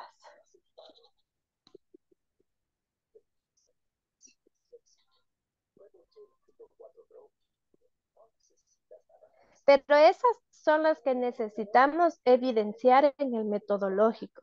¿Qué características se, vieron? Por ejemplo, yo vería una muy importante que es la crocancia, porque la crocancia es un análisis de una, una característica sensorial de un snack que me permite identificar la frescura de mi producto, el que no haya nada humedad. Entonces, esa, por ejemplo, esa es bien importante haber analizado. La crocancia, el color, el sabor, esos, esas características en un sensorial serían fundamentales y que te van a permitir eh, saber el, la frescura que mantiene, sobre todo tú que estás en la parte de la costa. Recordemos que tienes una humedad alta y que ahí necesitas eh, un empaque que sea bastante hermético para que tengas una vida útil eh, un poquito más larga, ¿sí? Entonces, esa parte me quedó faltando. Y es importante que sí agregues sin ser un análisis de, eh, de costos eh, bastante profundo, sí es importante que tú menciones por lo menos tu precio unitario y acompañado del punto de equilibrio. Entonces, de pronto lo tienes, pero tampoco lo mencionaste. Entonces, este, eh, como le comenté, eh, puedo utilizar, le, le, pregunto porque ahorita que está hablando sobre el costo, ¿puedo utilizar los dos? Lo, ¿El que le mencioné o es opcional que yo venga y le diga a usted, voy a utilizar el de 50 gramos que va a valer 90 centavos, ejemplo. Ya, ahí tienes tú que mirar, sobre todo cuando haces un costo, tienes que ver tu competencia, ¿sí? Entonces me invento. Em, si es que tu competencia tiene una presentación de 50, de 40 o de 100 gramos eh, y lo tiene un dólar, me estoy inventando, tú tienes que siempre relacionarte a tu competencia, porque para poder establecer ese punto de equilibrio, tenemos que hacer ese pequeño análisis de lo que, eh, de lo que respecta a tu competencia. Entonces, de pronto no tienes eh, una competencia directa porque el producto no es común pero podrías hacerlo con un producto sustituto como las papas, como un chifle, que igual se enmarcan dentro de los snacks. Entonces, ahí tienes que establecer frente a tu competencia. Eh, por ahí más o menos podría guiarte yo, pero de seguro la profe Jimenita en este, en este tema te puede guiar mucho mejor porque ella domina más del tema. Pues eh, eh, esas serían mis, mis acotaciones, Anthony. Em, trata de, de, mejorar esa parte. Yo sí miro que tú has hecho tu trabajo y has hecho tus prácticas y tienes tu producto. Eh, pero de pronto lo que te falta es encaminarte un poquito mejor a que puedas detallar todas estos, estas pequeñas falencias. Esos serían okay, mis aportes. Mira, gracias. Listo, Anthony. Buenas noches. Ok, Evelyn. Eh, con la profe Jime, por favor. Listo, muchas gracias. Buenas noches, Anthony. Eh, justamente, Buenas noches, todas las sugerencias que te hace la profe Evelyn, eh, estoy muy de acuerdo. Y únicamente lo que yo te aportaría es como todavía estás indeciso en, en saber en la cantidad eh, que sacarías principalmente al mercado como producto principal de 50 o de, de 50 o de 100, decías, ¿no? No, 50 o 30 gramos, pero eh, como se lo dije, eh, creo yo que sería más opcional la de 50 gramos. Pero si, como lo dijo ahorita la ingeniera, eh, tengo que ver el, la, la, competencia. Así es. Eh, bueno, de esos productos aquí al menos hay bastante, bastante de, de, de camote deshidratado y zanahoria blanca, hay bastante. Eh, tendríamos que ver justamente el precio de la competencia para saber si es que nosotros podríamos estar compitiendo en el mercado. Y eh, previo a eso hay que hacer un análisis, ¿no? En, en, el análisis de mercado, eh, tú eh, debiste haber puesto el precio y el tamaño en una de las preguntas para saber cuál es la preferencia de la gente, si se ajusta a la capacidad monetaria que tiene la gente como para invertir este tipo de, de productos. Por ejemplo, eh, ¿cuánto en, en, el estudio de mercado, cuánto pagaría usted por una funda de 500? ¿Cuál, qué, ¿Qué gramaje le interesaría? Entonces ahí le pones 30, 35, 50, 70 para que la gente escoja. Y por, y por cuál de esos pagaría, desde cuánto pagaría, desde un dólar, un dólar 25, un dólar 50, eh, va por rangos, ¿no? Entonces ahí tú ya puedes manejarte y saber el precio, saber el tamaño, de acuerdo al estudio de mercado que, vas a, sacar. Y con eso puedes ya empezar a sacar costos y, también saber cuál va a ser tu demanda, demanda eh, frente, frente a, la, a la competencia que vas a tener. Eso sería todo. Si es que necesitas un poco de explicación y ayuda, me avisas para ayudarte a hacer esa parte. Listo, ingeniera, muchas gracias. Agradecido con usted. Bueno.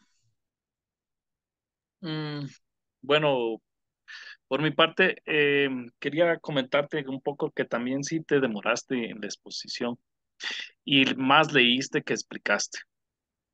Y eso sí me preocupa el rato de la defensa porque ahí sí tienes que defenderte lo, lo más posible, o sea, estar, claro, estar seguro, es, explicar, exponer, no, no leer mucho y con tu con todo lo que conoces y lo que has hecho de tu proyecto, eh, trata de hacerle más dinámicas las diapositivas, más dinámica la exposición y, y más sintetizada.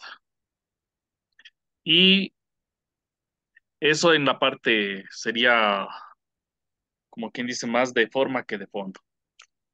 Ya la de fondo los, te, acaban de decir las dos docentes el tema del el antiplagio, no sé realmente si me alcanzaste a entregar en los tiempos, ya me va a acordar y ya, de, según los informes que reciba les de, mandar los comentarios al, grupo. Eh, como les comentaba, sus compañeros tienen hasta este mes de diciembre para hacer las correcciones eh, debidas de ley.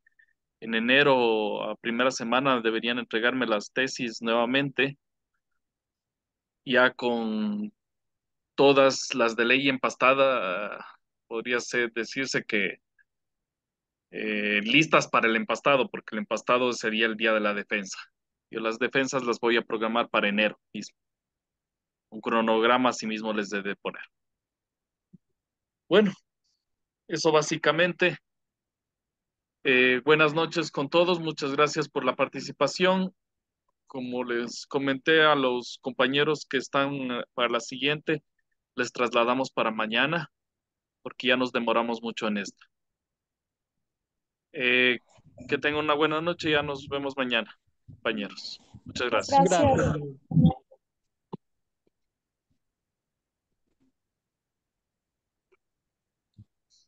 Mañana se retrocede, en cambio, o sea, partimos con la, la última de hoy y se va retrocediendo a ver, hasta ver si nos igualamos.